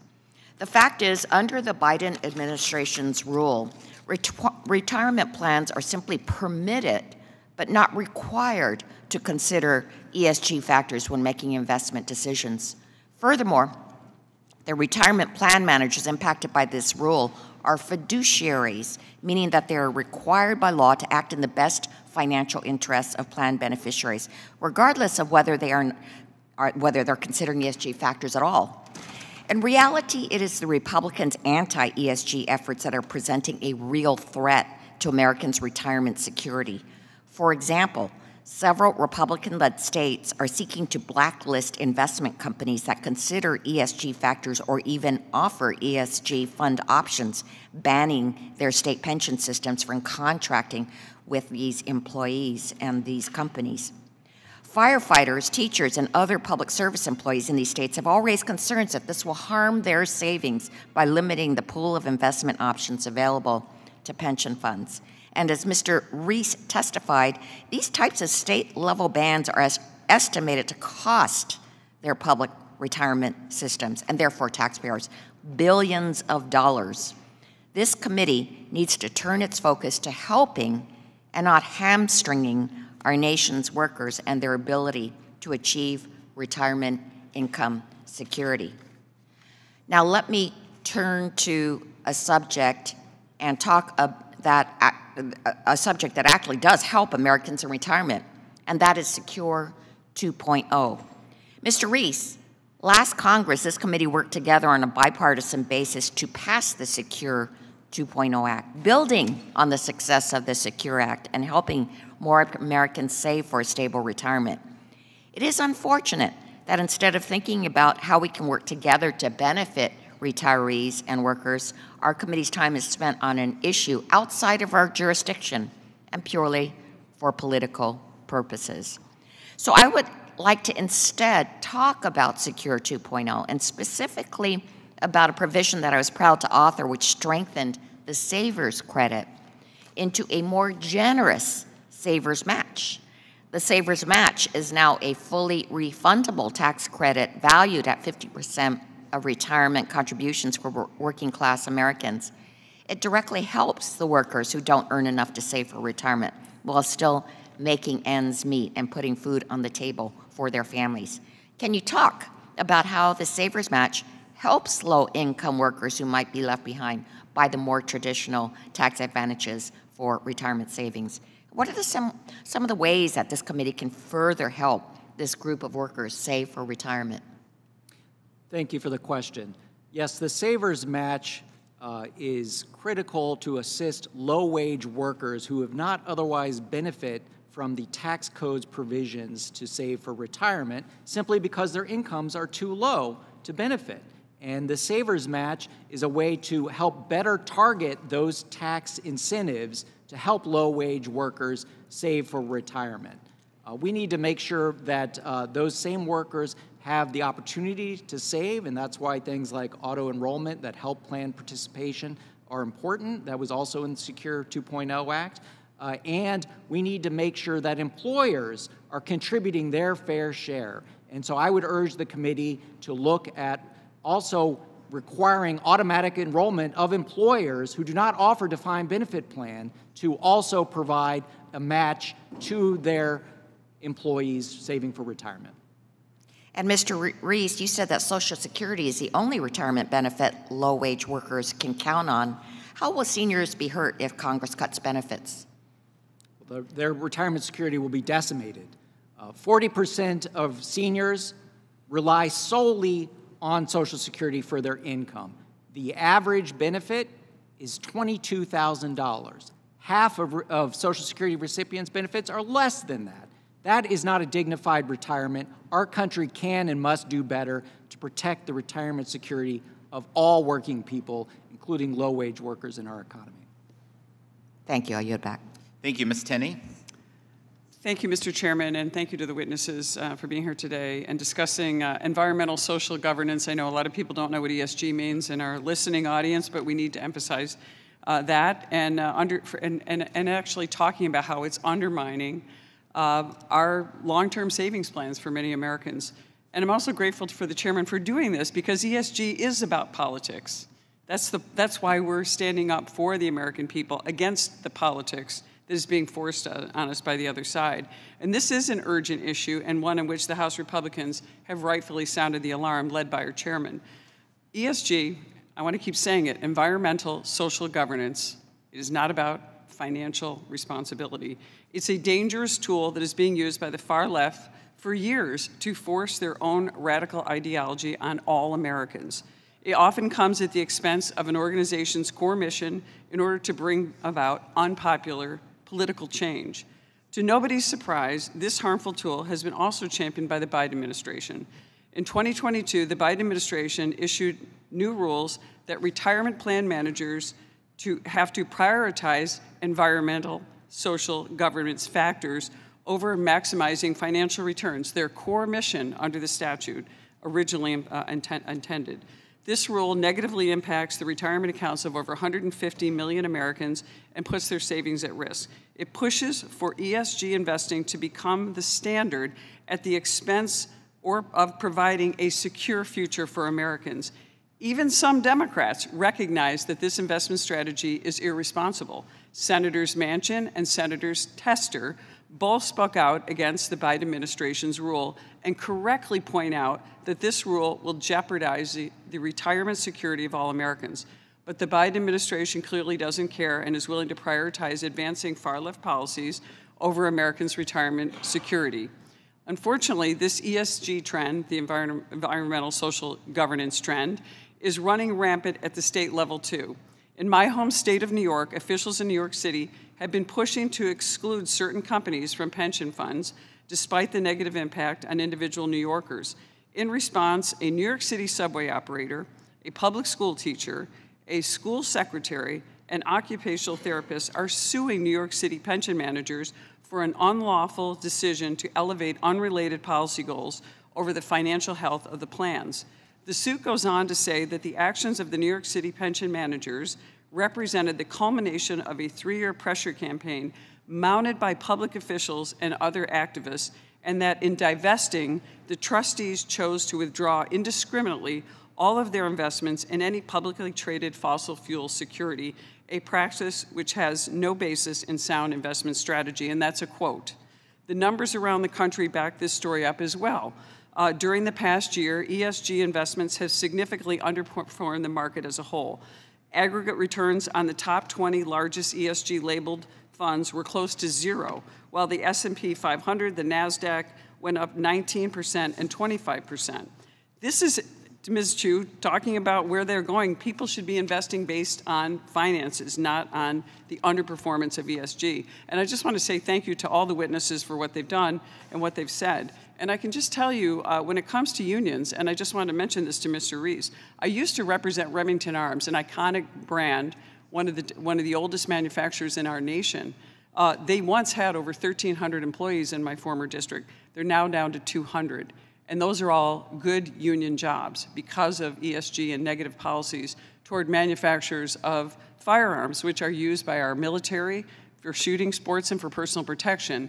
And, and that, in, in that realm, that's caused problems. But I wanted to ask just Mr. Oaks quickly, because I know you've been combating this, you've been spending a lot of time on this.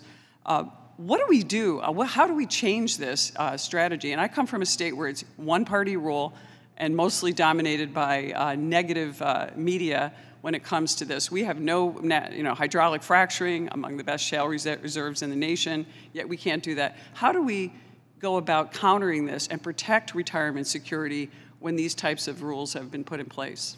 Uh, that's, that's a great question. I think the first thing is, is the continuation of lawsuits to protect the fiduciary standard in this country. That is incredibly important. Uh, the second thing is that, that people who are involved in the marketplace, each of us as consumers, need to have our voices heard when we see companies politicizing their business, like we saw with Bud Light and Target that we don't patronize those businesses. Businesses are supposed to serve us as individuals, not some higher authority that's telling them what to do.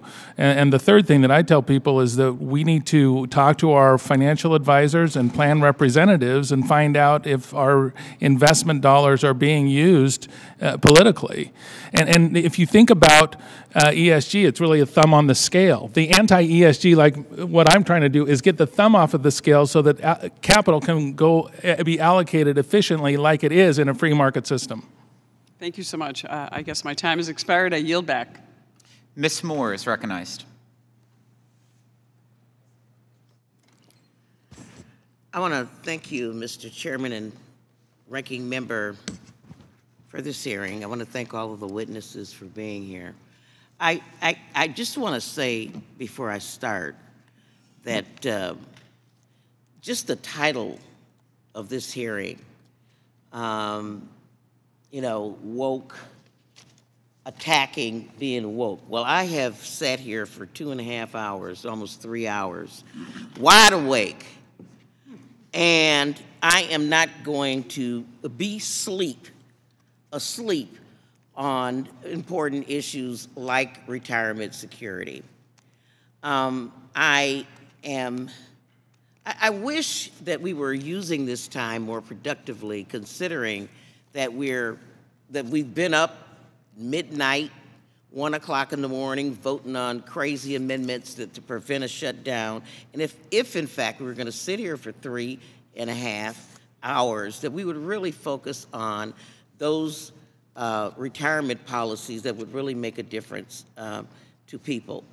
Um, I, for example, um, I, um, you know, I think we did a great job with Secure and Secure Point Two and, and the Butch Lewis uh, Act, and of course, Secure and Secure and Secure 2.0 were bipartisan. Um, I think we've heard a lot of discussion here today about things that we really could do. Um, we've mentioned Social Security, for example, and I heard people sort of, you know, decrying the situation with illegal immigrants. But I guess I would ask you, Mr. Rees, do you think that immigration reform would increase the numbers of people who were not in the shadows and would, would, would, would buoy our Social Security account as people paid into it?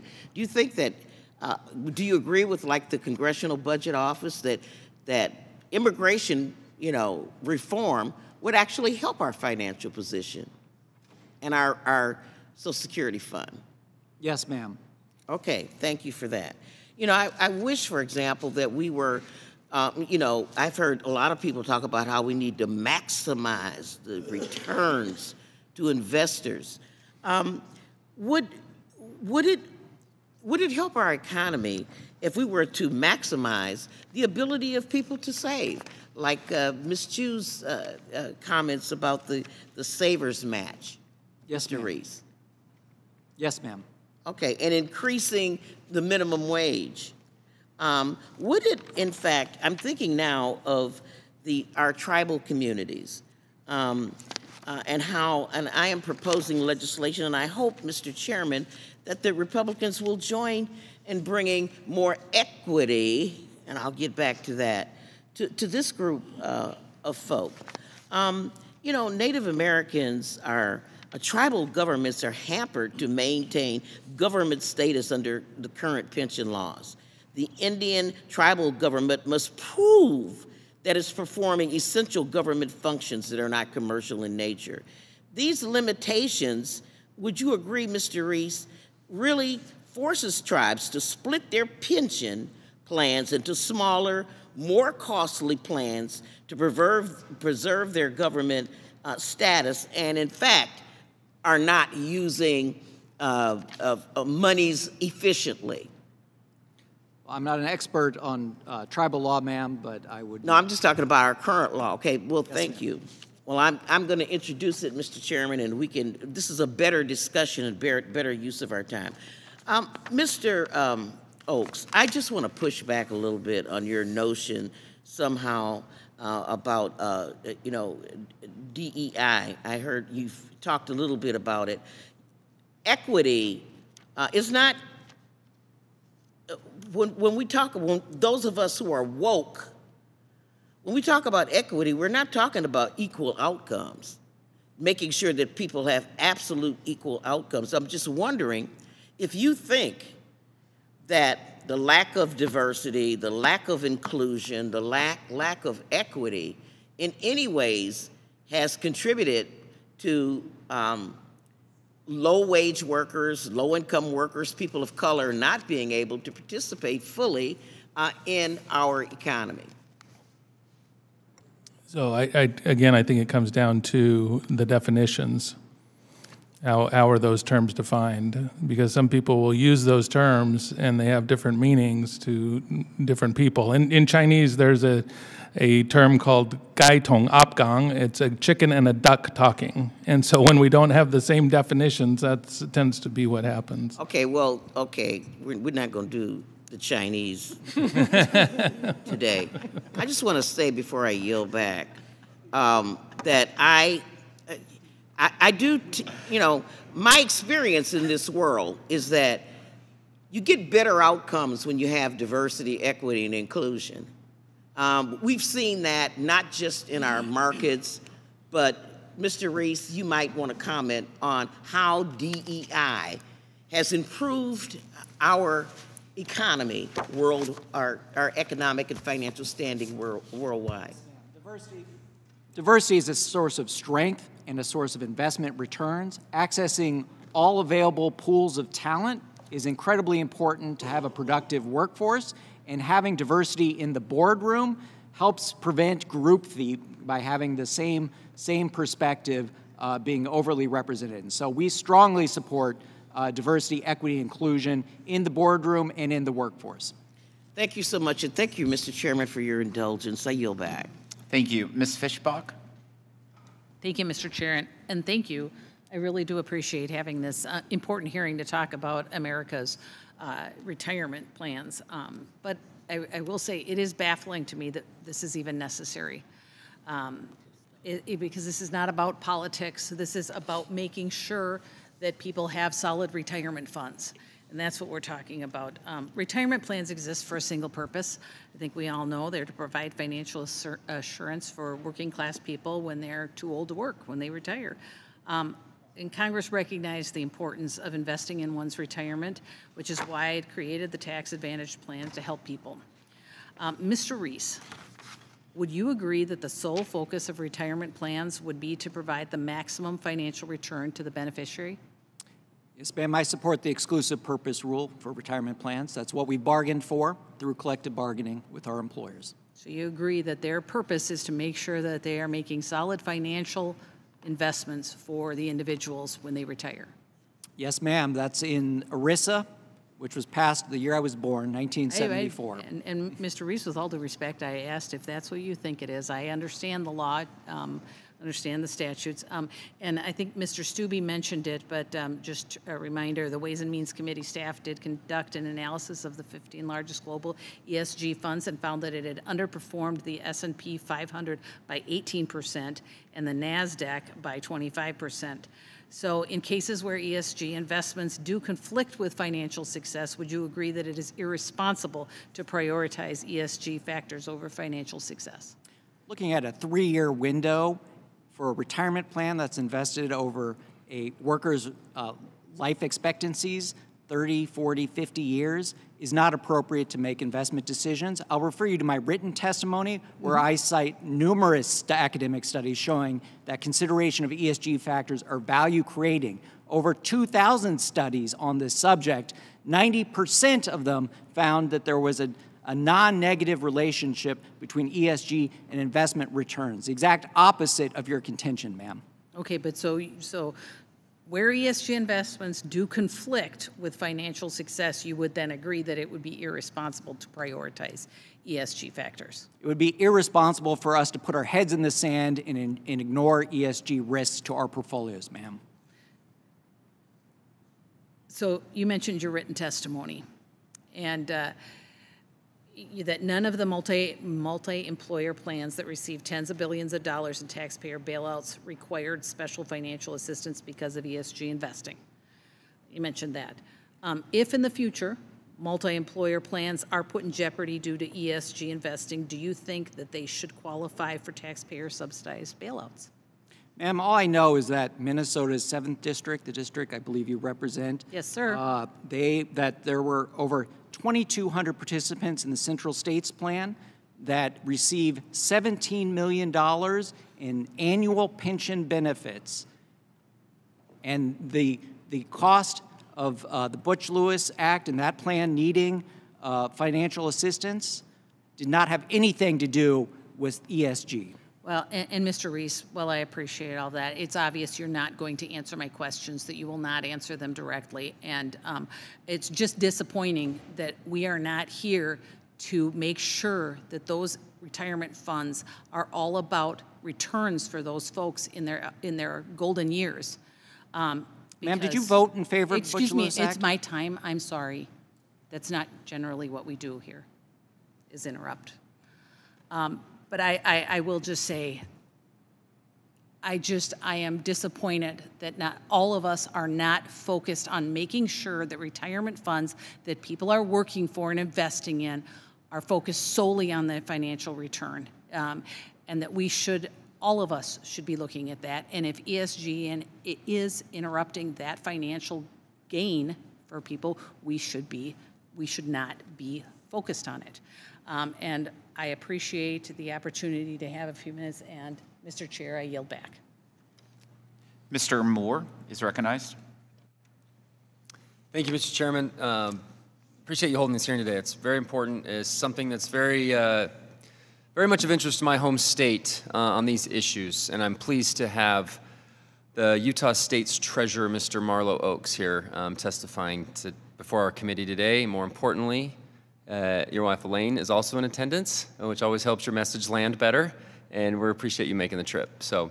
Uh, I'd like to submit for the record an April 2022 letter signed by Utah's entire federal delegation and its statewide elected leaders opposing the use of so-called ESG credit indicators that could adversely affect Utah's credit rating based on factors other than Utah's ability to repay debt.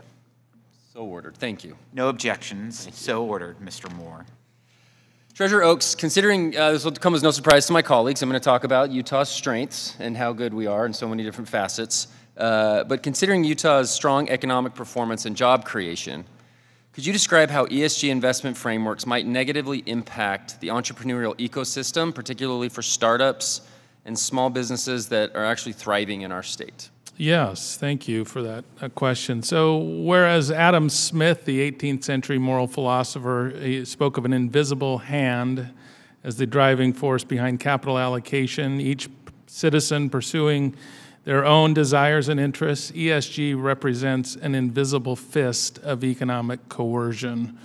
So I've spoken with executives of startups and small companies in Utah who have said that venture capital firms and large clients have asked them to complete long ESG questionnaires, including questions such as whether or not 60% or more of their board and staff are trans, LGBTQ plus, or women. If certain demographic ratios are not met, the surveys then ask whether there are policies in place to terminate employees who are not in the protected classes until at least 50% of employees are in those classes within six months. Other questions ask about company benefit policies efforts to monitor electricity usage monthly, assurance that renewable electric sources are used at an increasing amount each month, and policies to monitor airline travel to ensure employees are flying on aircraft with technology that is reducing the carbon footprint.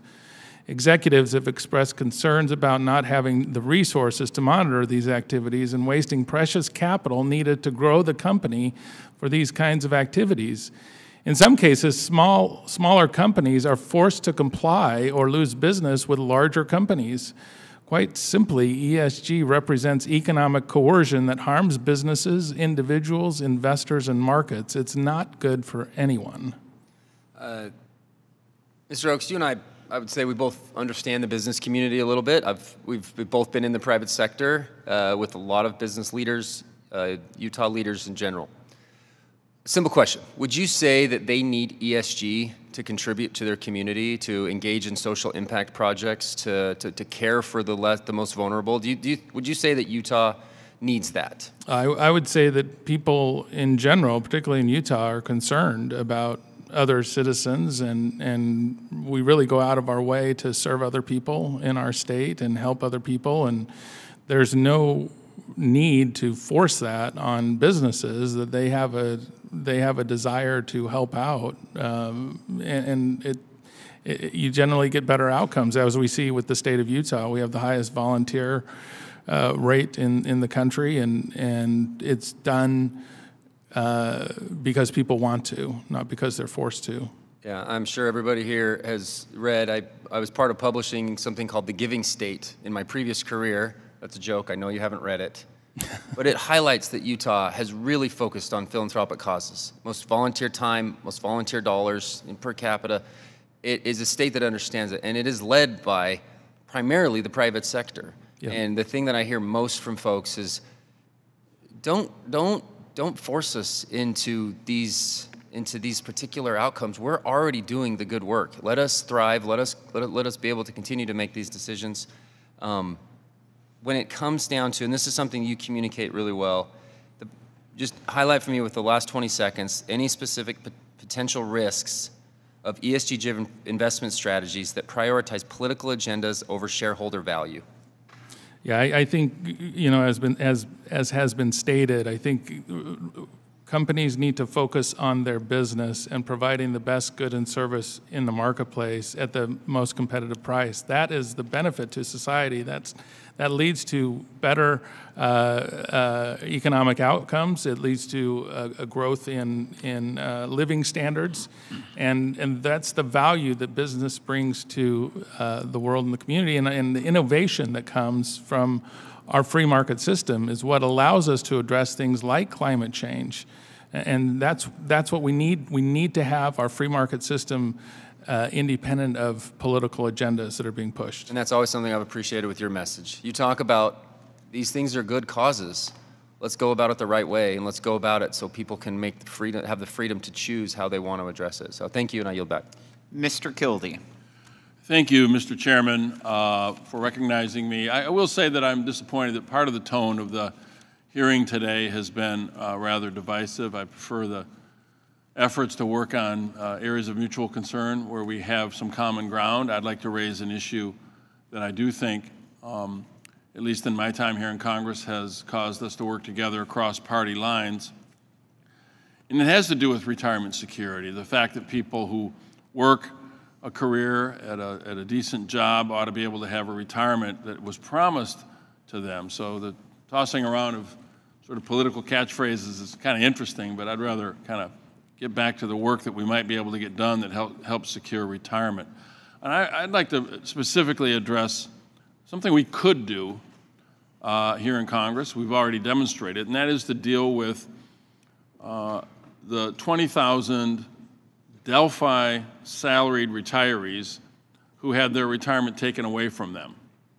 When GM filed bankruptcy during the Great Recession, the U.S. Pension Benefit Guarantee Corporation, uh, the PBGC, unfairly cut retirement benefits, some as much as 70%, for people who work their whole lives with the expectation that that that retirement was going to be there for them. And they planned as if it would be there for them. And as a result, lots and lots of people I represent, I know others on this committee represent as well, lost something that was promised to them. Uh, we've heard stories about uh, Delphi salaried retirees having financial and medical hardships as a result. Uh, these folks played by the rules.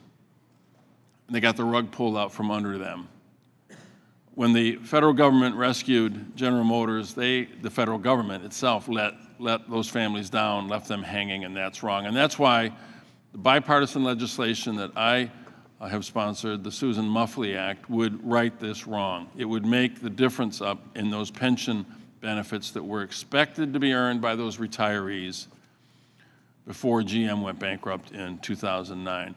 Some have asked why the Delphi salary retirees would deserve to have their pensions restored and not others who've had pensions lost. I understand that concern, but I will say this there is a significant distinction. The government, the United States government, was the one who decided to cut those benefits, not creditors, not the bankruptcy judges. The U.S. government made that determination.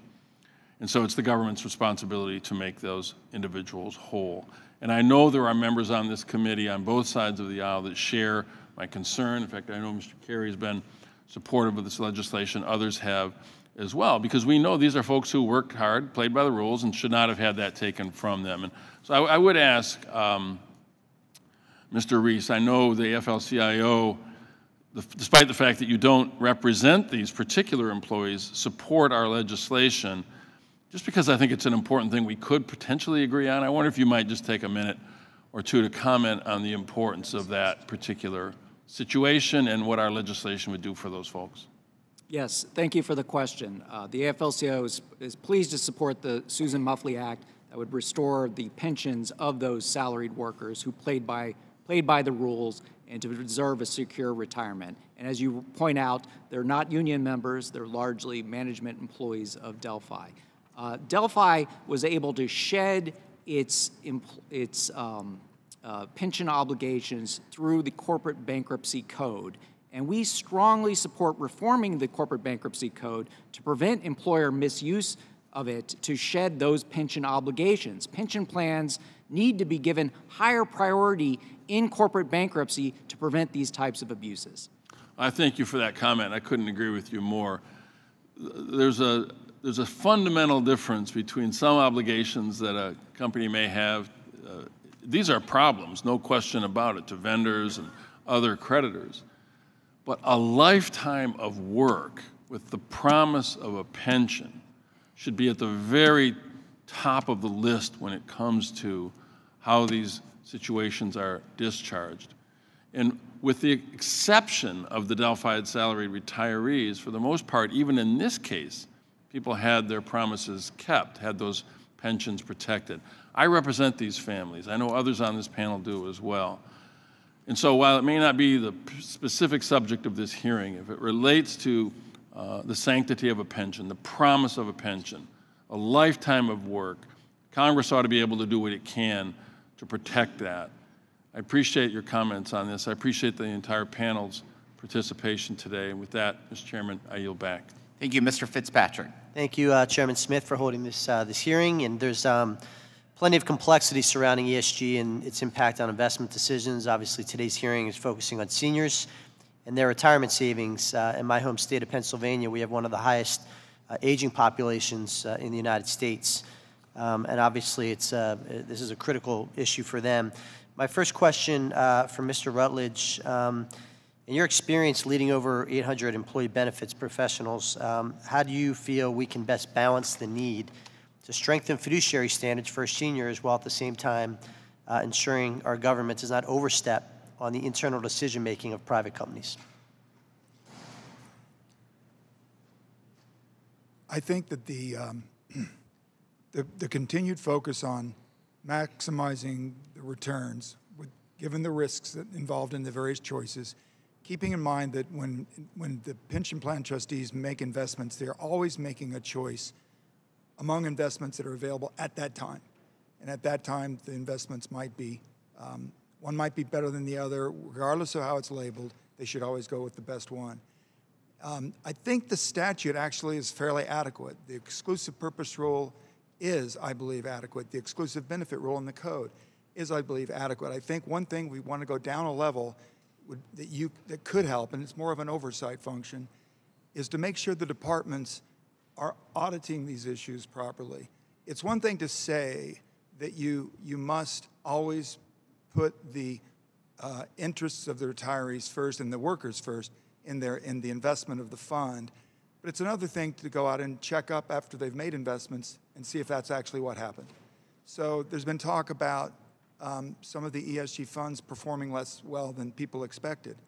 Um, you don't do a hindsight 2020 on a pension fiduciary, but when you see things like that, there should be an auditor that can go in and look at the, look at the investment and ask, all right, when you did make this decision, did you follow a fiduciary process, a prudent process? Um, employers do need to know that, that, if they, that if they make mistakes, in their process of deciding about the investment, they, they, will, they, will, they will have to perhaps answer for it. That will, that will help them focus more, more laser-like on making sure they're maximizing the risk-adjusted return, regardless of the investment choices they have. Thank you, Mr. Rutledge. Um, Mr. Boulay, uh, DOL obviously released their, they released their fiduciary rule proposal, now called the Retirement Security Rule. Um, what is your perspective, your sense on um, what the impact this proposal will have on uh, your ability to provide retirement services uh, to your customers? You bet. Thank you, Mr. Congressman, for that question. Um, it's our understanding the DOL rule is about 500 pages, and it just came out a few days ago, so it takes a while for us to come through, comb through it. Um, but for us, we are the understanding that it does permit and not require um, us to look at those ESG factors, and as long as it stays that way. Uh, just as the gentleman before me testified, we want to make sure that it does, they stay in their lane and it does not require, it just permits. Thank you. Mr. Chairman, I yield back. Mr. Feenstra. Thank you, Mr. Chairman and Ranking Member. I, I just appreciate you uh, holding this hearing. Um, I'm glad we've dug into how harmful these ideological uh, investment practice can, practices can be uh, to American uh, retirees. Uh, ESG encourages activism. Think about that. ESG, environment, social governance, encourages activism over financial security of American workers. If you think about today, American workers, this is probably one of the top things that are on their mind. Do they have enough for retirement? Do they have enough dollars for when they get older? And yet we're going down rabbit holes talking about what's good for society, what's good for the environment, and placating to a liberal ideology. But it doesn't only affect retirees. As Mr. Uh, Boulay said, and others pointed out, that these misguided investment practices also permeate every aspect of our economy, including, including agriculture. Meaning, a farmer or rancher would be put under the microscope if these SEC rules continue to go, they'd be put under a microscope by the federal government, subject, subjecting them to new reporting requirements and creating new compliance burdens would jeopardize uh, privacy violations and create unnecessary liabilities. This would require farmers to actually report their emissions this is so far outside the scope of the SEC that I, I just feel it's unbelievable. It's, it's appalling. But that's exactly what SEC, SEG does. Managers of retirement funds should be focused on financial security for their retirees. The SEC should be focused on protecting investors. And farmers and ranchers should be focused on feeding and fueling the world. SEG tells all of them that you should forget all this and focus on implementing these liberal, progressive climate and social agenda rules. So, Mr. Boulay, you, you, hit, you hit on this in your testimony. As both a farmer and a banker, which I applaud, uh, we have similar backgrounds, can you talk about how the cost of a regulatory compliance like SEG would threaten farmers and potentially could really affect their bottom line. Could you explain that? You bet. Thank you, Congressman, for that question. And in reg regards to our farmers and our practices, we all know there's economies of scale. Um, there are large farmers, small farmers, medium-sized farmers, and whenever you implement or mandate a technology to say that you have to use uh, automatic row shutoff on a certain sprayer, uh, if you only have a certain amount of acres to spread that over, that cost can be detrimental. And any attempt for us banking industry to be those regulators of that is uh, absurd and really hard for us to do. We'd have to hire consultants to go out to make sure that all of our farmers were matching a specific ESG policy, which again raise the cost of capital and raise the cost of food. You nailed it. I, I want to talk about that. When you, when you, think about improving access to credit for rural communities uh, and, and, rural farmers, is something I'm extremely focused on. I actually introduced the ACRE Act, uh, which would in, in, improve and lower the cost uh, of, of, of rates for farmers how would these regulations, how could they result in higher costs of borrowing for, for rural farmers and, and, rural producers? So could SEG actually increase the cost of borrowing? Thank you for that question. And yes, it could. Um, again, anytime you mandate more, uh, you know, we're a small bank. We have 225 million. We're, you know, almost 35, 40 percent of our lending is in agriculture. And when you put those mandates on, for us to follow the governance part of it, we have to have more people, um, which in turn raises the cost of capital and makes consumer goods more expensive. Yep. So it's twofold. So, so my in-laws are, are, are farmers. Uh, you know, uh, the, my, my dad-in-law and my brother-in-law farm.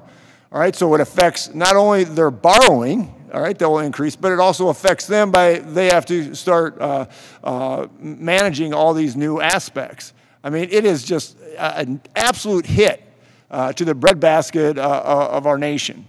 Uh, Mr. Oaks, how often are employees aware that their retirement funds are being used for, to pursue pol a political agenda? Do you think most people are aware of this? Uh, no, because most of the time people don't have the ability to move their money. So it might be in a defined benefit plan, uh, in which case the plan administrator is, is overseeing those assets. They don't even often know what investment managers are being used. And even if they did, they don't have any input on what managers uh, can be used. And, you know, with the 401k, a plan uh, sponsor is going to hire uh, typically an investment firm, and they're going to offer their uh, plan, their their uh, investment options in that plan, and so you don't have the ability to move outside of that. So it's really not an investor choice. Exactly. We're stomping on individuals. We're stomping on American producers. I'm, I'm ashamed that this is uh, going down this path. Thank you, and I yield back. Mr. Beyer. Mr. Chairman, thank you very much. I want to first point out that it's ironic that in a discussion largely about so-called woke issues, that this is the least diverse panel I've seen in my nine years in Congress. Um, I, I, I, love you, you're just like me, middle-aged white businessmen, um, but we don't represent all the American people. Um, second, I'd like to point out that, jumping on what my friend Mike Thompson said, in all the community service work I've done, the incoming emails, 120,000 a year, not a single person has ever raised a woke retirement plan agenda to me. So I'm not quite sure what we're talking about. I also would like to, I, I love my friends on the other side. They're mostly um, really good people. I disagree with my friend Dr. Drew Ferguson, though, who says that the only purpose of a business is to make profit. I've been in business 46 years, and we thought our part of our job was to serve the customer, to provide good uh, customer service, good products. Part of our job was to hire people who could then build their lives, buy homes, educate their children. I thought part of our job was to serve the community in the best possible way to strengthen America. And that this notion that Milton Friedman capitalism was the only way to go forward doesn't match the values of almost any business person I know. I know my friend Kevin Hern, who did very well with McDonald's. I'm sure he was not just about profit. Um, it's, it's important, you know, Edward Deming says the very first rule of business is to survive. Um, so you have to do that. And let me also just mention that um, my friend Mike Kelly talked about when you go home to Erie, Pennsylvania, people are still hurting. Yes, absolutely, people are still hurting. Um, we have income inequality like we haven't seen in 100 years. Right now, we're, we're dead last in the G7 countries in income inequality. 69% of our wealth is controlled by exactly 10% of our population. 2.5% of our wealth is controlled by half of our population. It's never been that bad. Inflation has slowed, but prices are, got really high, and they're not going back. I often fantasize about what would happen if Donald Trump had won in 2020? What would my Republican friends have blamed the inflation on? This wasn't too much money chasing too few goods. It was enormous supply chain disruptions and a tripling of the profit margins of virtually every business. In the meantime, we have the Inflation Reduction Act, the infrastructure bill, CHIPS and science. Um, all these things are long-term investments. We had labor productivity jumped to 4.7% last quarter, the highest probably in our lifetimes. We're at 4.9% GDP in the third quarter, again, close to the highest in our lifetimes. The JOLTS job I looked up this morning, 9,553,000 jobs advertised. Um, again, a two to one ratio, which we've never seen before. But all these are long term, and it's going to take a while for people really to feel the benefits of it. So let me, Mr. Rees, I want to turn to you. Um, I was fascinated by the notion that um, in, a, in a debate about freedom, um, as a business person, I never wanted people to tell me how to invest my money. So why are we telling North Face and BlackRock and others Carlyle, all these, I'm confused. I never thought BlackRock and Carlyle were, were the drivers of global socialism as I'm hearing today. um, how can this be? Why should we be telling them how to invest money that people are put in their care because they want to maximize their investment? Why isn't the freedom for let business leaders invest it as they think proper? Because my reading, word for word, from the, the uh, last thing is that, um, I don't know if I have it right in front of me. Uh, the 2022 AFL-CIO says the rule clarifies retirement plan fiduciaries may consider but are not required to consider ESG factors just as they would consider any other investment factor. Mr. Rees. That's exa exactly right, that the uh, 2022 DOL ESG rule uh, protects the ability of retirement plan fiduciaries to consider ESG factors when they're material to investing uh, and I don't care if you're considering an investment in China or an investment that involves uh, uh, environmental sustainability or workers' rights concerns. Those factors matter for investment returns. And if you put blinders, if you tell retirement plan fiduciaries they have to stick their heads in the sand and ignore these ESG risks, you're doing a grave disservice to the retirement security of America's working families. It would be interesting to see. I just read that October was the warmest October uh, since we've been keeping records for many hundreds of years. Um, do you think it might be responsible for an investment manager to think about the downside cost to our environment and our economy of all the things that are coming from climate change? It would be imprudent not to consider those factors. Great. Thank you very much, and I yield back, Mr. Chairman. Mr. Carey. Uh, thank you, Mr. Chairman, and thank you for the witnesses being here today. Uh, Mr. Rutledge, it's great to see you again. Uh, your work with uh, former senator from Utah and what we spent a lot of many hours talking about coal miners' pensions and health care, and it's good to see you in this capacity again. Um, back in July 18th, the AFL-CIO uh, put out this statement. Workers' retirement security is at risk as some Republican lawmakers play politics with working people's pension plans by restricting consideration of environmental social governance risks in investment and proxy voting decisions. These partisan politicians seek to control trillions of dollars in workers' pensions investments.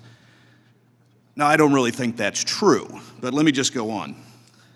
If you're looking at overall, um, I think, Mr. Rees, you're organization also represents the United Mine Workers of America. Am I correct with that?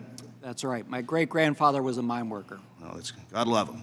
Which includes obviously all the coal miners, but there's a lot of other unions that have an association with the fossil fuel industry, whether it's operating engineers, steel workers, what, what have you.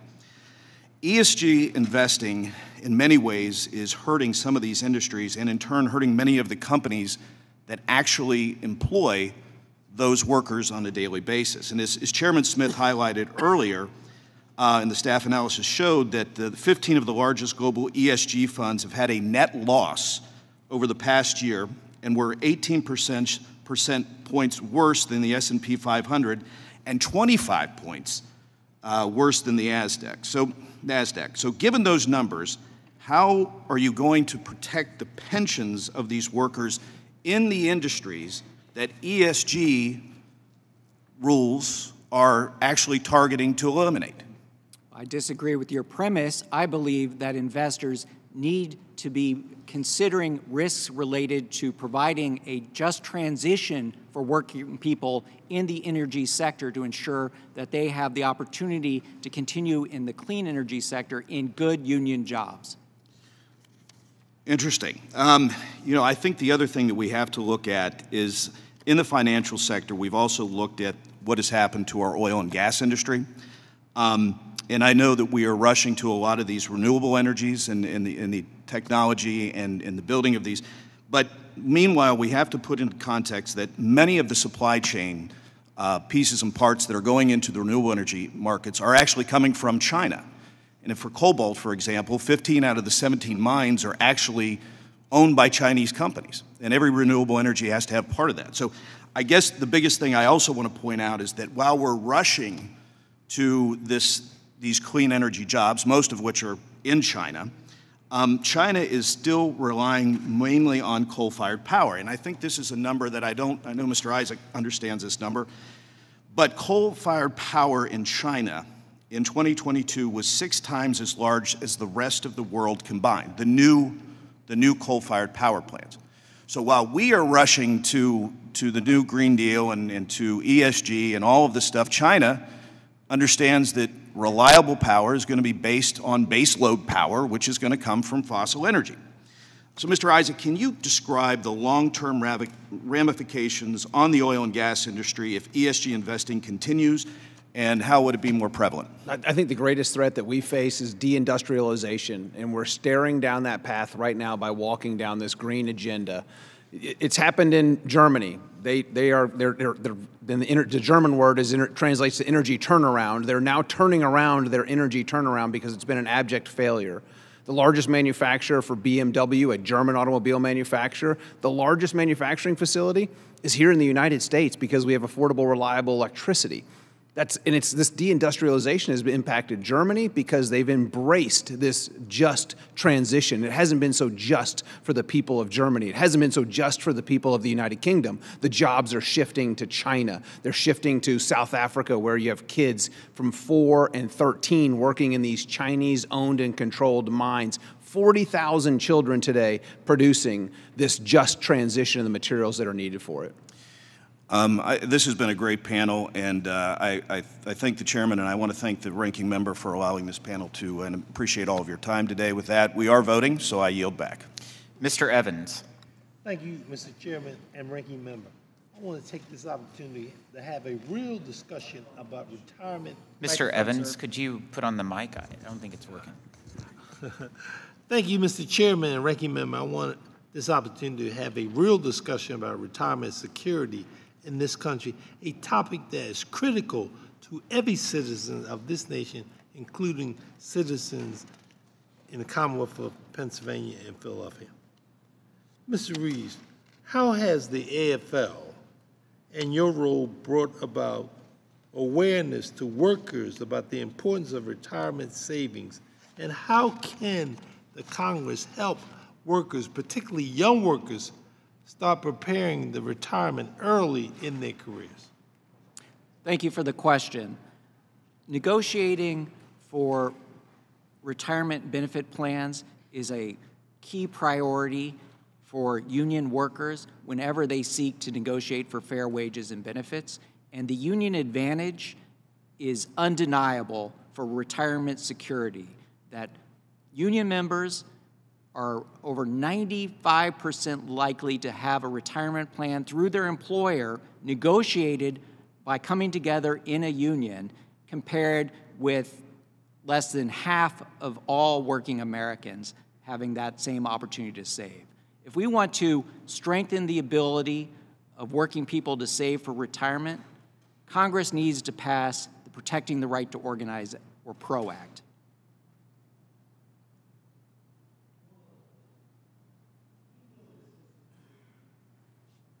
We know that Social Security is a particularly important source of income for groups with low income and less opportunity to save for retirement. In fact, more than 100,000 live in my, my district who rely on their Social Security benefits. Mr. Reeves, how can Congress strengthen the long-term stability of Social Security so that benefits are expanded? And that would be the impact on my constituents if their Social Security was to be cut out.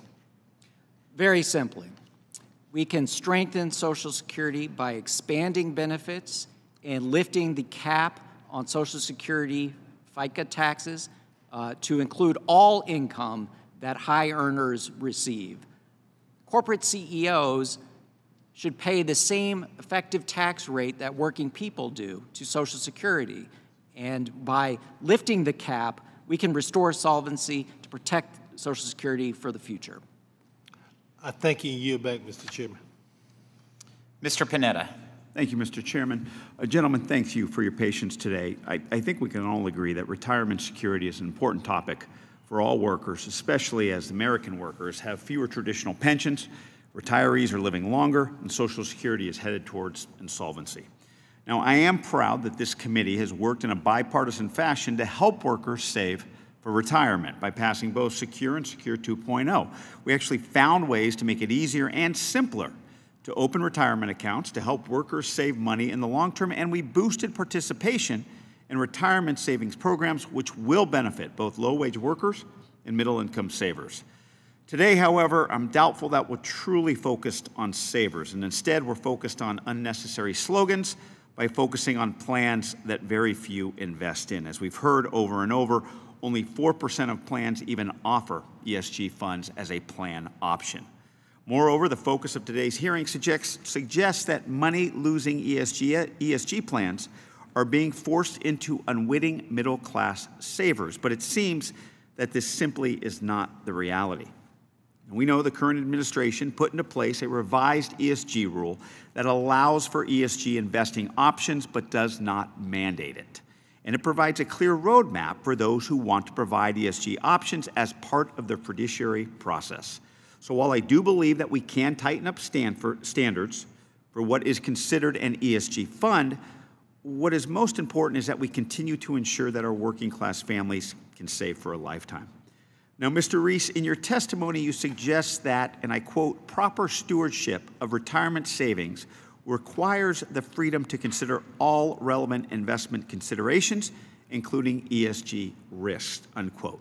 Why do you believe that the option for ESG considerations helps, not harms workers?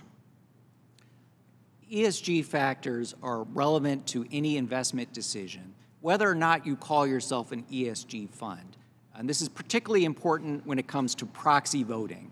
Uh, corporations hold annual meetings in which the share owners of the company have the opportunity to decide how to vote on important matters, the election of directors, the executive compensation of the CEO, the auditor, and shareholder resolutions addressing ESG topics.